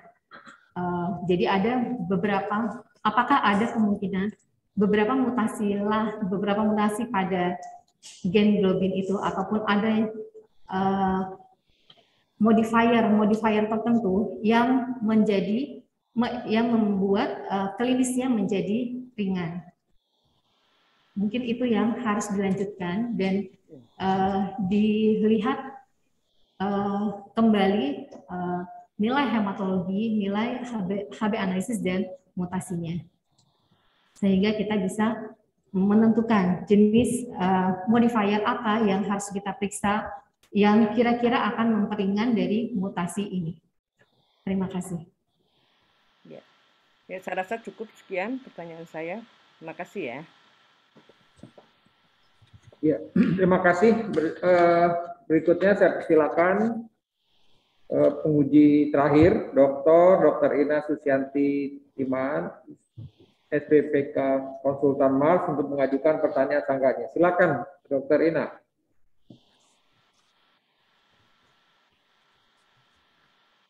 Terima kasih Bapak Dekan, Prof. Ari Rahyalsam. Uh, pertama-tama saya juga mengucapkan uh, selamat kepada Dr. Dian yang sudah menyelesaikan penelitiannya yang sangat kompleks dan baik ini. Saya akan mengajukan tiga pertanyaan. Yang pertama, pada subjek tarasemi itu kita jumpai adanya perawakan pendek pada kelompok ringan maupun berat. Tapi kita juga menjumpai adanya perawakan yang normal pada kelompok yang berat. Apakah kira-kira penyebab terjadinya gangguan pertumbuhan tersebut? Karena ini dikaitkan dengan program pemerintah untuk uh, penanganan stunting. Apakah kadar HB pada penderita tersebut yang mempengaruhinya atau kelainan mutasi yang mempengaruhinya? Yang pertama. Yang kedua, pada pemeriksaan subjek dengan HPLC ataupun mikrokapillary terdapat subjek yang tergolong sedang atau berat mempunyai HBF yang rendah. Nah, karena ini penggolongannya berdasarkan Mahidol score, apakah menurut Dokter Dian perlu uh, pertimbangan lain uh, dalam modifikasi Mahidol score sehingga kita bisa melihat kesesuaian atau evidence base antara hasil laboratorium dengan uh, klinisnya. Dan juga terdapat beberapa subjek dengan HbA yang rendah. Apakah ini menunjukkan keseringan adanya juga thalassemia alfa selain dari thalassemia beta yang dokter uh, analisa. Yang ketiga, pada pemeriksaan besi, tadi sudah disinggung sedikit, Deterjen ini mengerjakan saturasi pemeriksaan saturasi transferin, tetapi juga memeriksa indeks transferin. Dalam aplikasi ke depannya, manakah pemeriksaan yang dianjurkan oleh deterjen? Karena tidak mungkin memeriksa dua-duanya kalau di masyarakat dalam penerapannya. Manakah yang lebih baik? Baik untuk mengetahui uh, iron overload-nya maupun untuk pemantauan terapi kelasi. Demikian, terima kasih.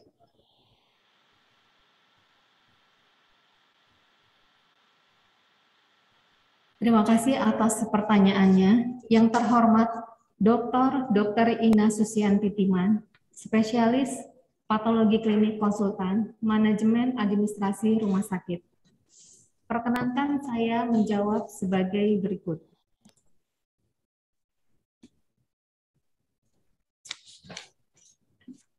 Perawatan pendek atau pertumbuhan yang terhambat, pada penelitian ini kami temukan pada kelompok dengan manifestasi klinis yang ringan terdapat pada uh, tiga subjek, di mana pada ketiga subjek ini didapatkan bahwa status gizinya adalah kurang dan uh, dilacak pada perawakan kedua orang tuanya.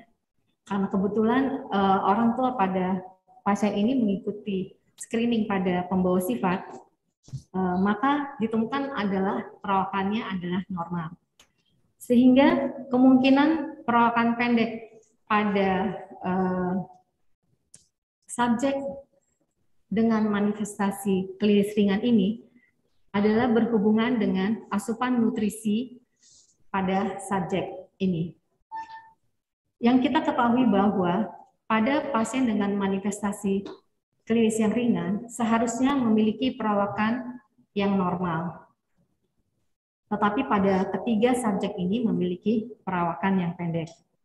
Sedangkan eh, di kelompok berat eh, yang seharusnya uh, mayoritas adalah perawakannya pendek, tetapi uh, yang kami dapatkan pada penelitian ini ditemukan uh, ada beberapa subjek yang memiliki perawakan normal. Kemungkinan penyebab ini adalah uh, ke 11 atau uh, pasien atau subjek yang berada di manifestasi klinis berat dengan perawakan pendek yang perawakan yang normal ini disebabkan oleh tata laksana yang baik pada pasien ini. Biasanya dilakukan tata laksana secara awal atau secara dini dan memiliki compliance yang baik baik untuk transfusi darah maupun untuk klasi besinya sehingga bisa mendapatkan perawakan yang normal. Pertanyaan yang kedua, uh, ada beberapa subjek dengan pemeriksaan HPLC uh, eh, atau mikrokapiler dengan manifestasi yang sedang ataupun berat, tetapi memiliki kadar HbF yang yang rendah. Berdasarkan analisis HB, pada kelompok yang sedang berat seperti pada uh, gambar 5.1 uh, pada pasien atau subjek ini memang kita temukan uh, kadar HbF-nya yang rendah di mana mutasi yang kita temukan adalah IVS 1 NT5 heterozigot.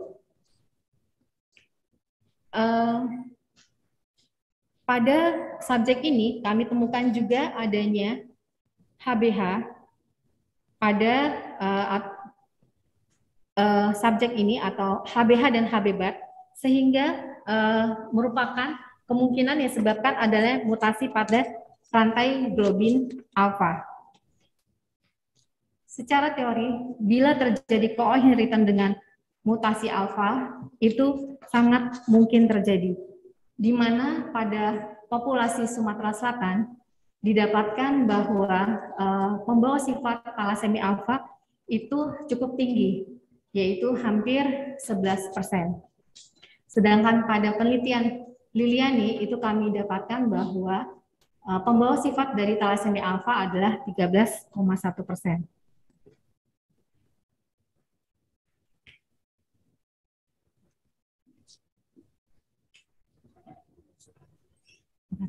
Nah, sehingga uh, untuk uh, penggolongan berdasarkan skor Mahidol untuk dilanjutkan uh, apakah perlu ditambahkan analisis HB pada penelitian ini belum bisa kami uh, uh, ajukan atau uh, kami berikan.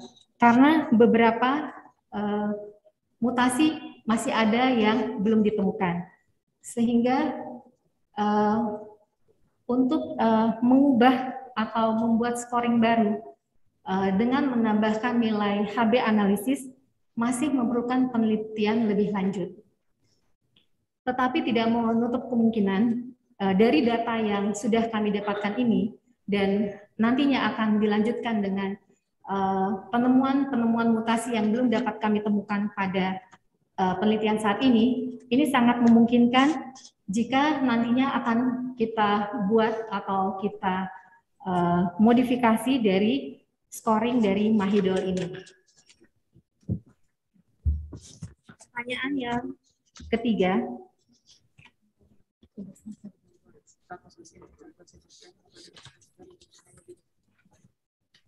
Uh, untuk menilai status besi, um, kita lakukan pada pasien talasemi dengan secara umum itu dengan dua cara, yaitu yang cara direct maupun cara secara indirect.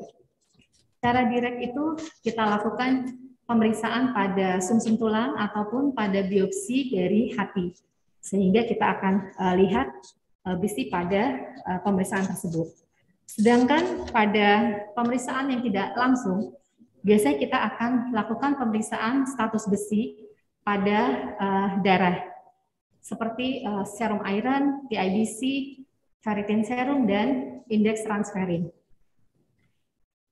Untuk uh, kelebihan besi pada pasien talasemi, sebetulnya yang paling berbahaya adalah besi yang bebas, yaitu yang biasa kita sebut adalah non uh, non NTBI. Jadi untuk uh, indeks mana atau parameter mana yang uh, menggambar lebih menggambarkan adanya besi bebas pada penelitian ini, kami menyarankan atau uh, untuk memilih adanya indeks transferin pada uh, untuk menilai adanya besi bebas pada kelebihan besi.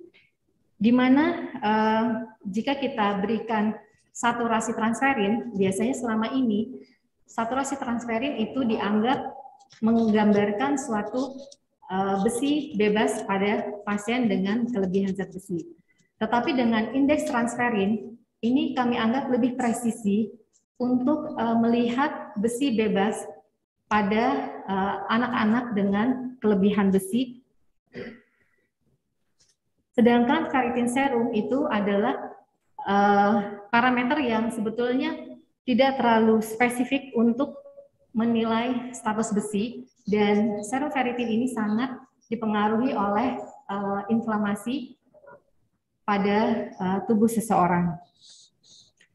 Uh, sedangkan serum iron itu juga memiliki fase diurnal sehingga uh, saat pengambilan darah juga akan sangat mempengaruhi uh, uh, hasil dari pemeriksaan tersebut. Jadi untuk melihat besi yang bebas, kami menyarankan atau uh, memberi uh, melakukan pemisahan indeks transferin itu lebih baik dibanding parameter yang lain. Terima kasih. Terima kasih. Saya uh, atas jawabannya yang baik. Ujian selesai.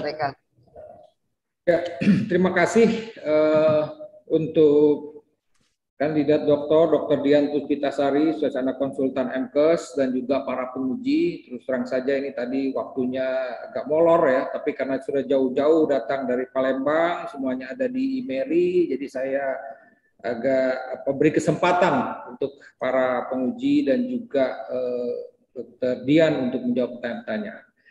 Baiklah, Bapak Ibu sekalian, uh, ujian berakhir. Kini izinkanlah kami mengadakan sidang tertutup untuk memberikan penilaian dan sidang ditunda beberapa saat. Tim penguji promosi doktor Universitas Indonesia meninggalkan ruang sidang. Hadirin undangan yang terhormat, sidang terbuka promosi doktor Universitas Indonesia akan diskors untuk beberapa saat Dimohon agar dapat menunggu. Terima kasih.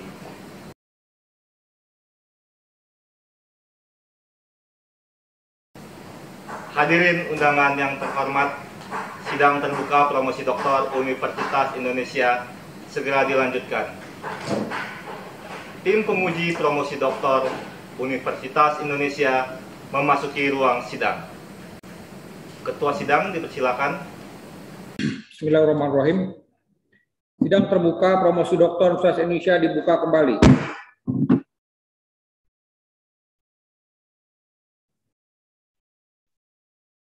Calon doktor Saudara Dr. Dian Puspitasari, spesialis konsultan MKes, kami telah mempelajari disertasi serta memperhatikan pembelaan saudara atas pertanyaan dan sanggahan dari para penguji.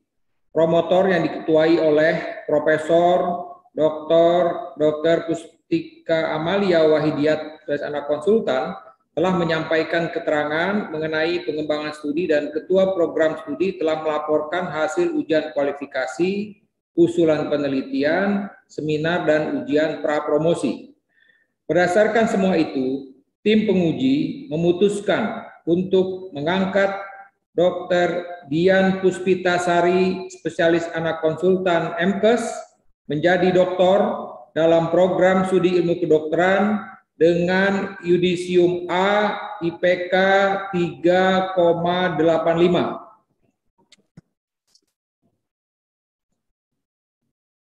Saya persilakan promotor Profesor Dr. Dr. Pustika Amalia Wahidiat anak konsultan untuk menyampaikan sambutannya. Silakan Prof. Lia.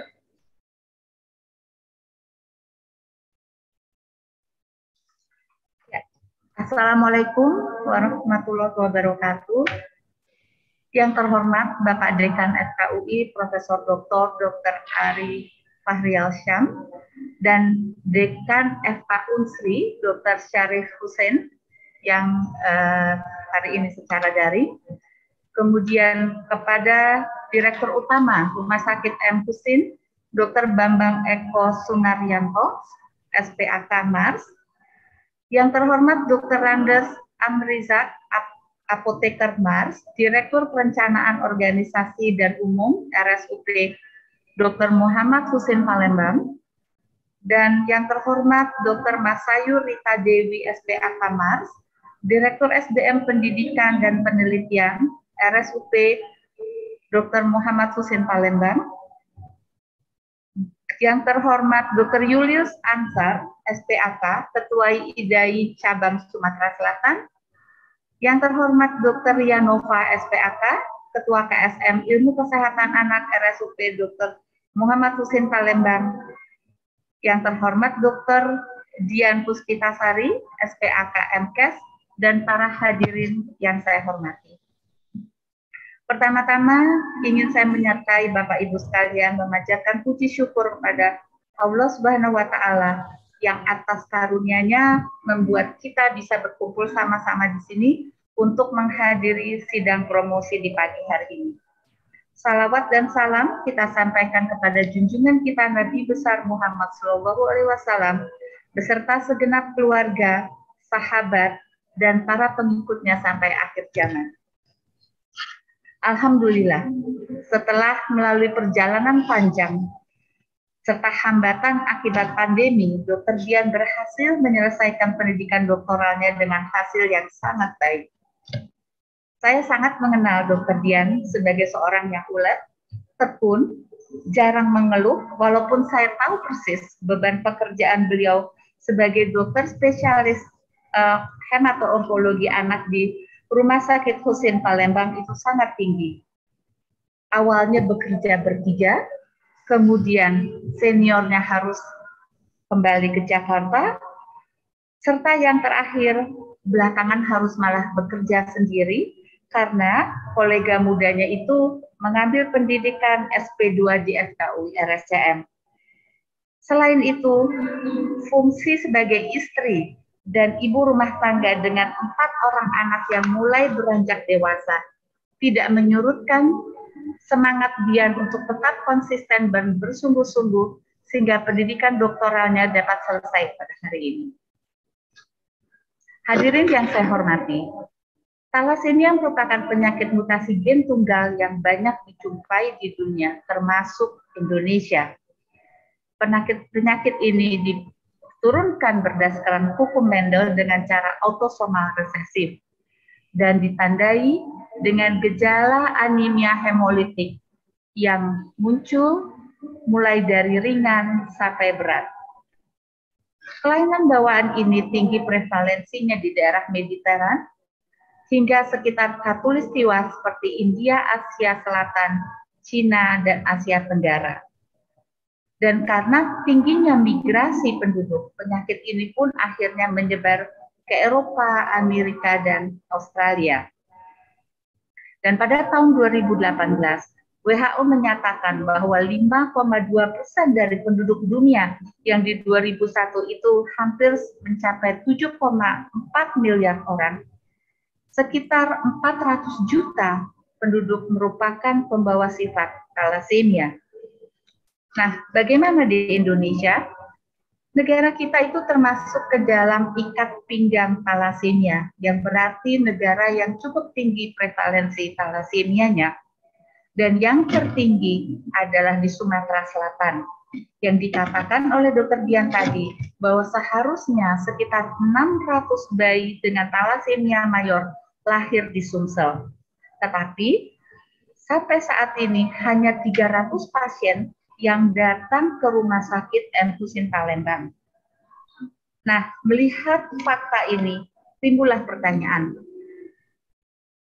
Apakah karena awareness-nya yang kurang atau genotipnya yang berat sehingga pasien belum sempat datang ke rumah sakit sudah uh, meninggal atau gejalanya yang ringan sehingga tidak terdeteksi. Hadirin sekalian, sampai saat ini penentuan jenis mutasi dan kajian ekspresi fenotip pada pasien thalassemia di kelompok etnik Sumatera Selatan masih sangat terbatas.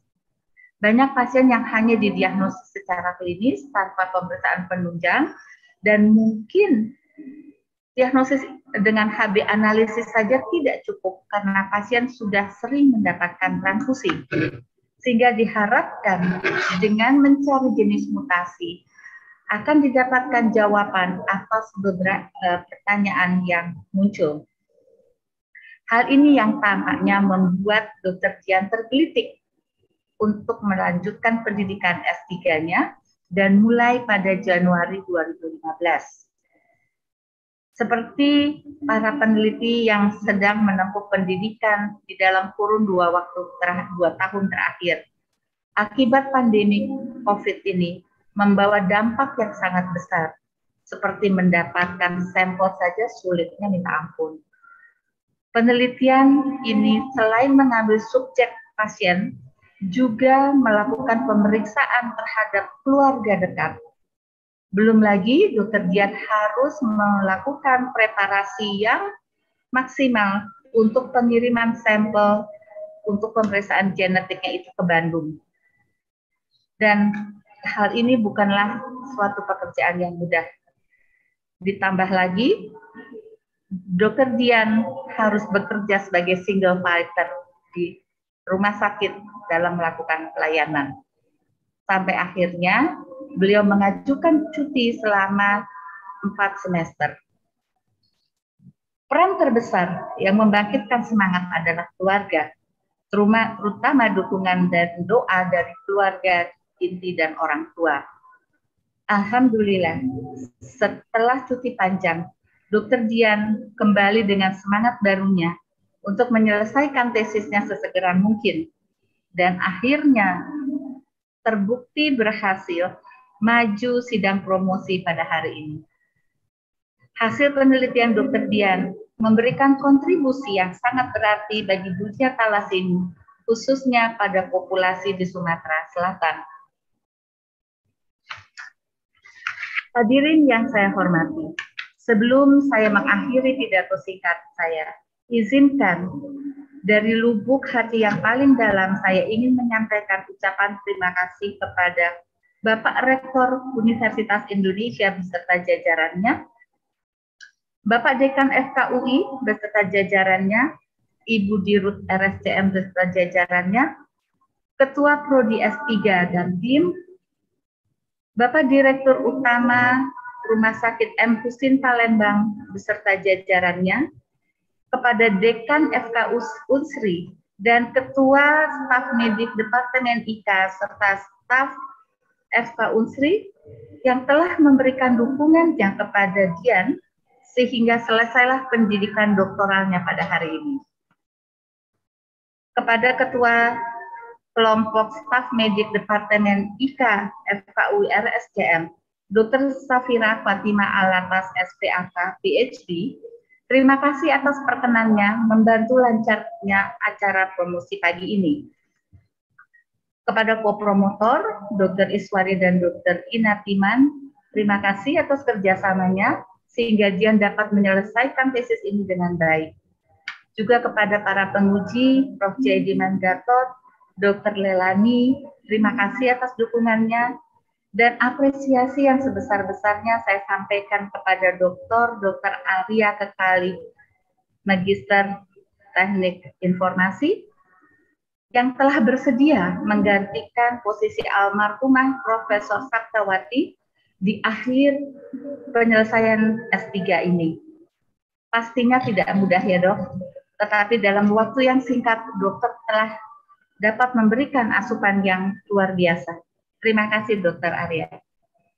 Doa yang tulus saya panjatkan juga untuk almarhumah Profesor Dr. Dr. Sabtawati Badorsono. Terima kasih atas kerjasamanya selama ini yang sulit selalu menjadi mudah. Semoga Prof. Dr. Sabtawati mendapat tempat terbaik di sisinya. Juga kepada seluruh pihak yang telah membantu, mulai dari awal penelitian ini sampai terselenggaranya acara promosi. Terima kasih sebesar-besarnya kepada panitia promosi yang diketuai oleh Dr. Heni Puspitasari, spesialis anak konsultan. Terakhir, tentunya kepada pihak keluarga besar, khususnya suami, anak, dan orang tua tercinta.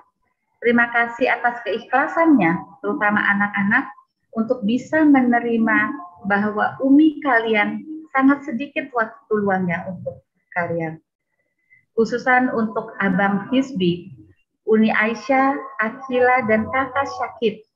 Terima kasih telah menjadi alarm dan penyemangat di kala Umi sedang jenuh dengan semua tugasnya, sehingga sedikit lupa kalau masih menjadi murid. Semoga kegigihan Umi bisa menjadi contoh untuk kalian meraih cita-cita setinggi langit. Terakhir kepada Dr. Dr. Dian, sekali lagi selamat atas capaian yang saudara sumbangkan. Berharap hal ini bukanlah akhir dari penelitian, tetapi awal dari mimpi-mimpi Dr. Dian untuk menguat tabir mengenai thalassemia terutama di Sumatera Selatan. Hasilnya diharapkan bisa menjadi pembuka jalan untuk peneliti-peneliti berikutnya bersama dengan Dr. Dian meneruskan penelitian ini hingga terkuaklah apa yang masih menjadi pertanyaan.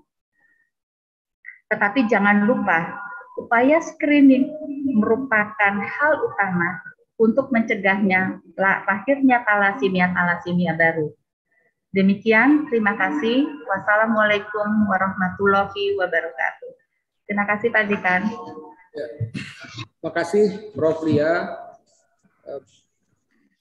Tentu saya atas nama pimpinan sidang dan juga pimpinan Fakultas Kedokteran Universitas Indonesia ingin mengucapkan selamat kepada Dr. Dr. Dian Puspitasari, SP Konsultan MKes, eh, karena bis, eh, alhamdulillah eh, bisa menyelesaikan doktornya dari Fakultas Kedokteran Indonesia. Untuk informasi saja, Dr. Dr. Dian ini adalah doktor kelima FKUI di tahun 2022. Tahun lalu 2021 alhamdulillah kita menghasilkan 33 doktor dan eh, di pertengahan Januari ini kita sudah mempunyai lima doktor dan doktor Dr. Dian adalah doktor kelima FKUI. Baiklah, sebelum saya menyampaikan beberapa hal, tentu saya ingin mengucapkan terima kasih kepada eh, para tamu-tamu yang sudah hadir ini jauh-jauh datang dari Palembang. Eh, pertama tentu kepada Direktur Utama Rumah Sakit Umum Pusat Dr. Muhammad Hussein Palembang, Dr. Bambang Eko Sumaryanto, SPKJ Mars, Kemudian juga dari jajaran, jajaran direksi lengkap, ini dari Direktur SDM Pendidikan dan Penelitian RSUP Dr. Muhammad Hussein, Dr. Eh, Rita Dewi, SPA Konsultan Mars, dan juga Direktur Perencanaan Organisasi dan Umum RSUP Muhammad Hussein, Dr. Andes Amrizal, MAPD MKes, Mars, Kemudian juga saya juga di sini mendapat informasi bahwa secara offline juga hadir Direktur Keuangan dan Barang Milik Negara RSUP Muhammad Husin, eh, Bapak Ekwanto SMM. Dari jajaran eh, pimpinan fakultas, eh, saya melihat rekan saya ini, eh, Dr. Sarif Husin, sama-sama PPDS di FKUI, Dr. Sarif, terima kasih, Dekan FK Unsri, Kemudian secara offline juga hadir di sini Wakil Dekan 1 FK Unsri, eh, Dr. Dr. Irfanuddin SPKO, MPD KET, ini juga alumni FKUI untuk SPKO. Wakil Dekan 3 FK Unsri Palembang, Dr. Hertanti Indah Lestari, SPA Konsultan. Dan juga eh, eh, di sini hadir juga Ketua KSM Ilmu Kesehatan Anak, Dr. Ria Nova anak konsultan dan juga Kabak IKA FK Unsri Palembang Dr. Indrayadi SPA konsultan. Jadi lengkap ini. KSMF-nya datang, Kabaknya juga datang. Dan ini ada sahabat saya ini uh, guru besar FK Unsri Profesor Dr. Dr. Pami Idris juga hadir di sini uh, bersama istri Dr. Dr. ini. Terima kasih atas kehadirannya. Eh, dan saya juga ini melihat ada Wakil Dekan 1 Fakultas Ekonomi dan Bisnis Islam Win Raden Fatah, Dr. Rika Lydia, kemudian juga Wakil Dekan 2 Fakultas Ekonomi Bisnis Islam Win Raden Fatah Palembang, Dr. Titin Hartini SEMSI, dan di sini juga ada Ketua IDAI Cabang Sumsel, ya ini karena Dr. Dr. Dian juga uh, pengurus dari IDAI Cabang Sumsel, ini Ketua IDAI-nya hadir Dr. Julius antar SPA konsultan kebetulan juga dokter anak. Eh, KPS juga hadir di sini, dokter-dokter Yulia Iriani secara konsultan. Jadi cukup lengkap ini teman-teman di Palembang hadir di tengah-tengah kita semua. Ada juga Ketua Komite Medik juga RSUP Hussein juga hadir, Dr. Rizal Sanif SPUG konsultan, eh, dan juga eh, koordinator kelompok substansi pendidikan penelitian SUP Dr. Muhammad Hussein, Dr. Irawan Sastra Dinata SPUG konsultan Mars. Eh, terima kasih atas kehadirannya semua dan disebutan disebutkan bahwa uh, Dr. Dr. Dian ini uh, mengambil samplingnya di Palembang. Topiknya cukup menarik karena melihat apa yang terjadi pada pasien-pasien talasemia di Sumatera Selatan. Saya rasa ini adalah suatu novelty, ya, hadir suatu novelty Eh, kekhasan suatu daerah dan ada hal yang ternyata eh, berbeda dengan daerah-daerah lain. Jadi ini mudah-mudahan bisa eh, mempunyai nilai publikasi yang tinggi.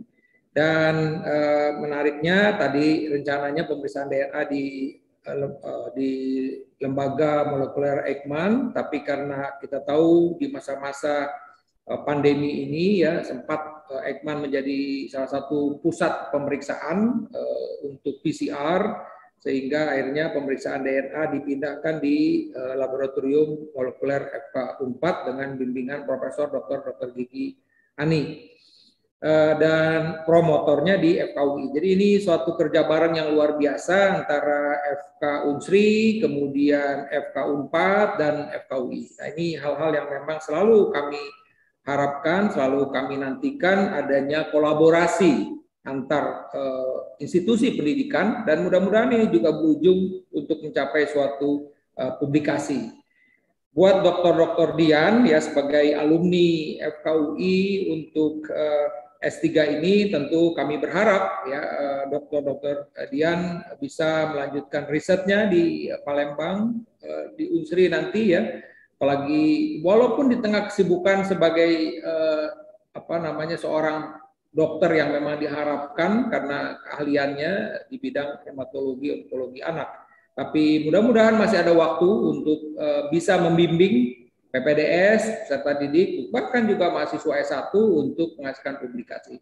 Kita harus percaya kepada peserta didik kita sekarang hebat-hebat, kemampuan berbahasa Inggris mereka baik, literasi mereka baik, dan mudah-mudahan akan ada hasil eh, publikasi-publikasi keluar nanti dari riset-riset talasemia dari Palembang. Dan tentu kita berharap eh, ya ini kita tahulah termasuk juga eh, Profesor Pami Idris ini kan tokoh eh, Palembang yang sudah menjadi tokoh nasional.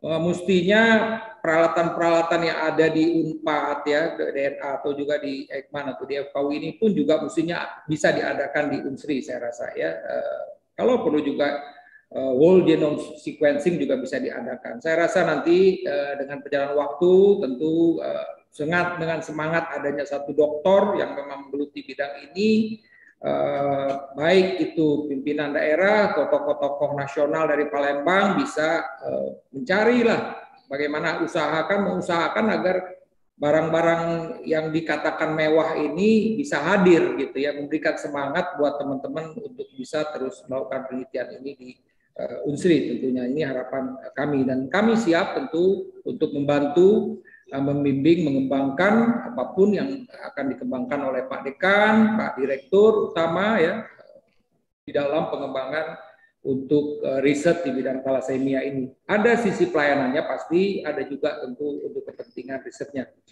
Baiklah Bapak Ibu sekalian, uh, saya pada kesempatan ini juga atas nama pimpinan fakultas mengucapkan terima kasih kepada Ketua Program Studi Profesor Dr. Dr. Swendro dan juga uh, eh, SPS Program Studi Profesor Harina, Profesor Dr. Harina SPU Konsultan PhD atas bimbingannya sehingga terus uh, bisa uh, mendorong peserta didik untuk segera menyelesaikan pendidikannya. Uh, pada kesempatan ini saya juga mengucapkan terima kasih tentu kepada uh, promotor Profesor Dr. Dr. Mustika Amalia Wahidiat ya uh, yang terus semangat membimbing ya tadi disebutkan begitu uh, jatuh bangunnya Dr. Dr. Dian ya berkat, berkat kesabaran promotor yang saya rasa terus memotivasi alhamdulillah ini bisa diselesaikan. Dan juga tentu kepada ko-promotor Dr. Dr. Ina Susianti uh, Iman SPPK konsultan dan juga Eh, kepada Dr. Iswari Stianingsi SPA PhD. Pada kesempatan ini saya juga ingin mengucapkan terima kasih kepada penguji tamu kita dari FK Unpad, eh, Dr. Dr. Elani Reniarti anak konsultan dan juga kepada eh, Profesor Dr. Diadiman Gatot SPA konsultan dan juga kepada Dr. Arya Kekali MTI dan juga tentu uh, kepada almarhum Profesor Tati Saptawati ya berkat bimbingannya uh, dan di akhir dan uh, sebelum beliau wafat dan akhirnya bisa diteruskan oleh. Dr. Arya Kekali seperti disampaikan oleh uh, Profesor Ria tadi ya alhamdulillah akhirnya.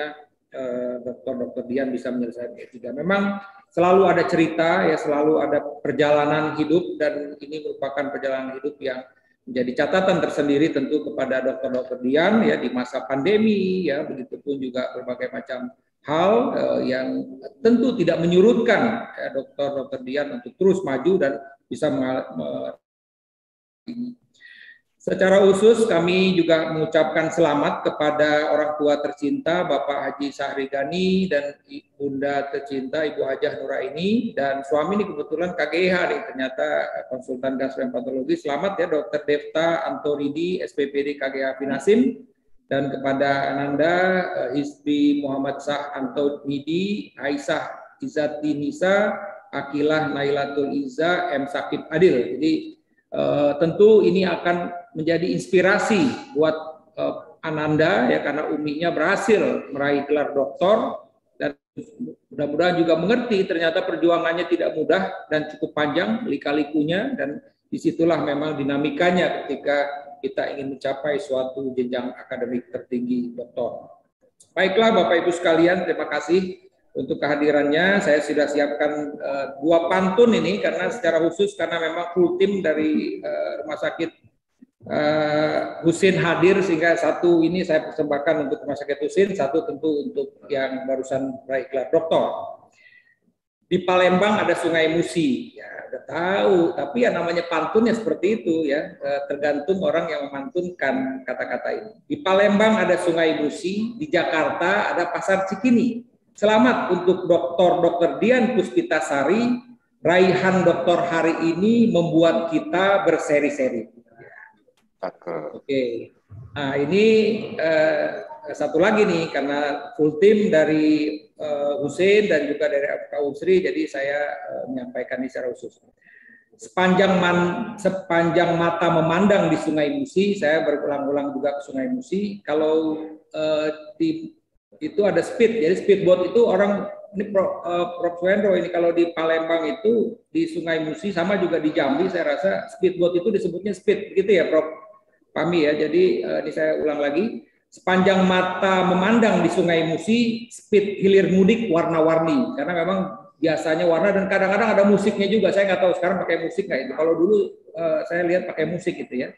Diulang lagi biar mantap. Sepanjang mata memandang di Sungai Musi, speed yang hilir mudik warna-warni. Selamat untuk Rumah Sakit Husin FK Unsri, satu satu staf mediknya meraih jenjang akademik tertinggi.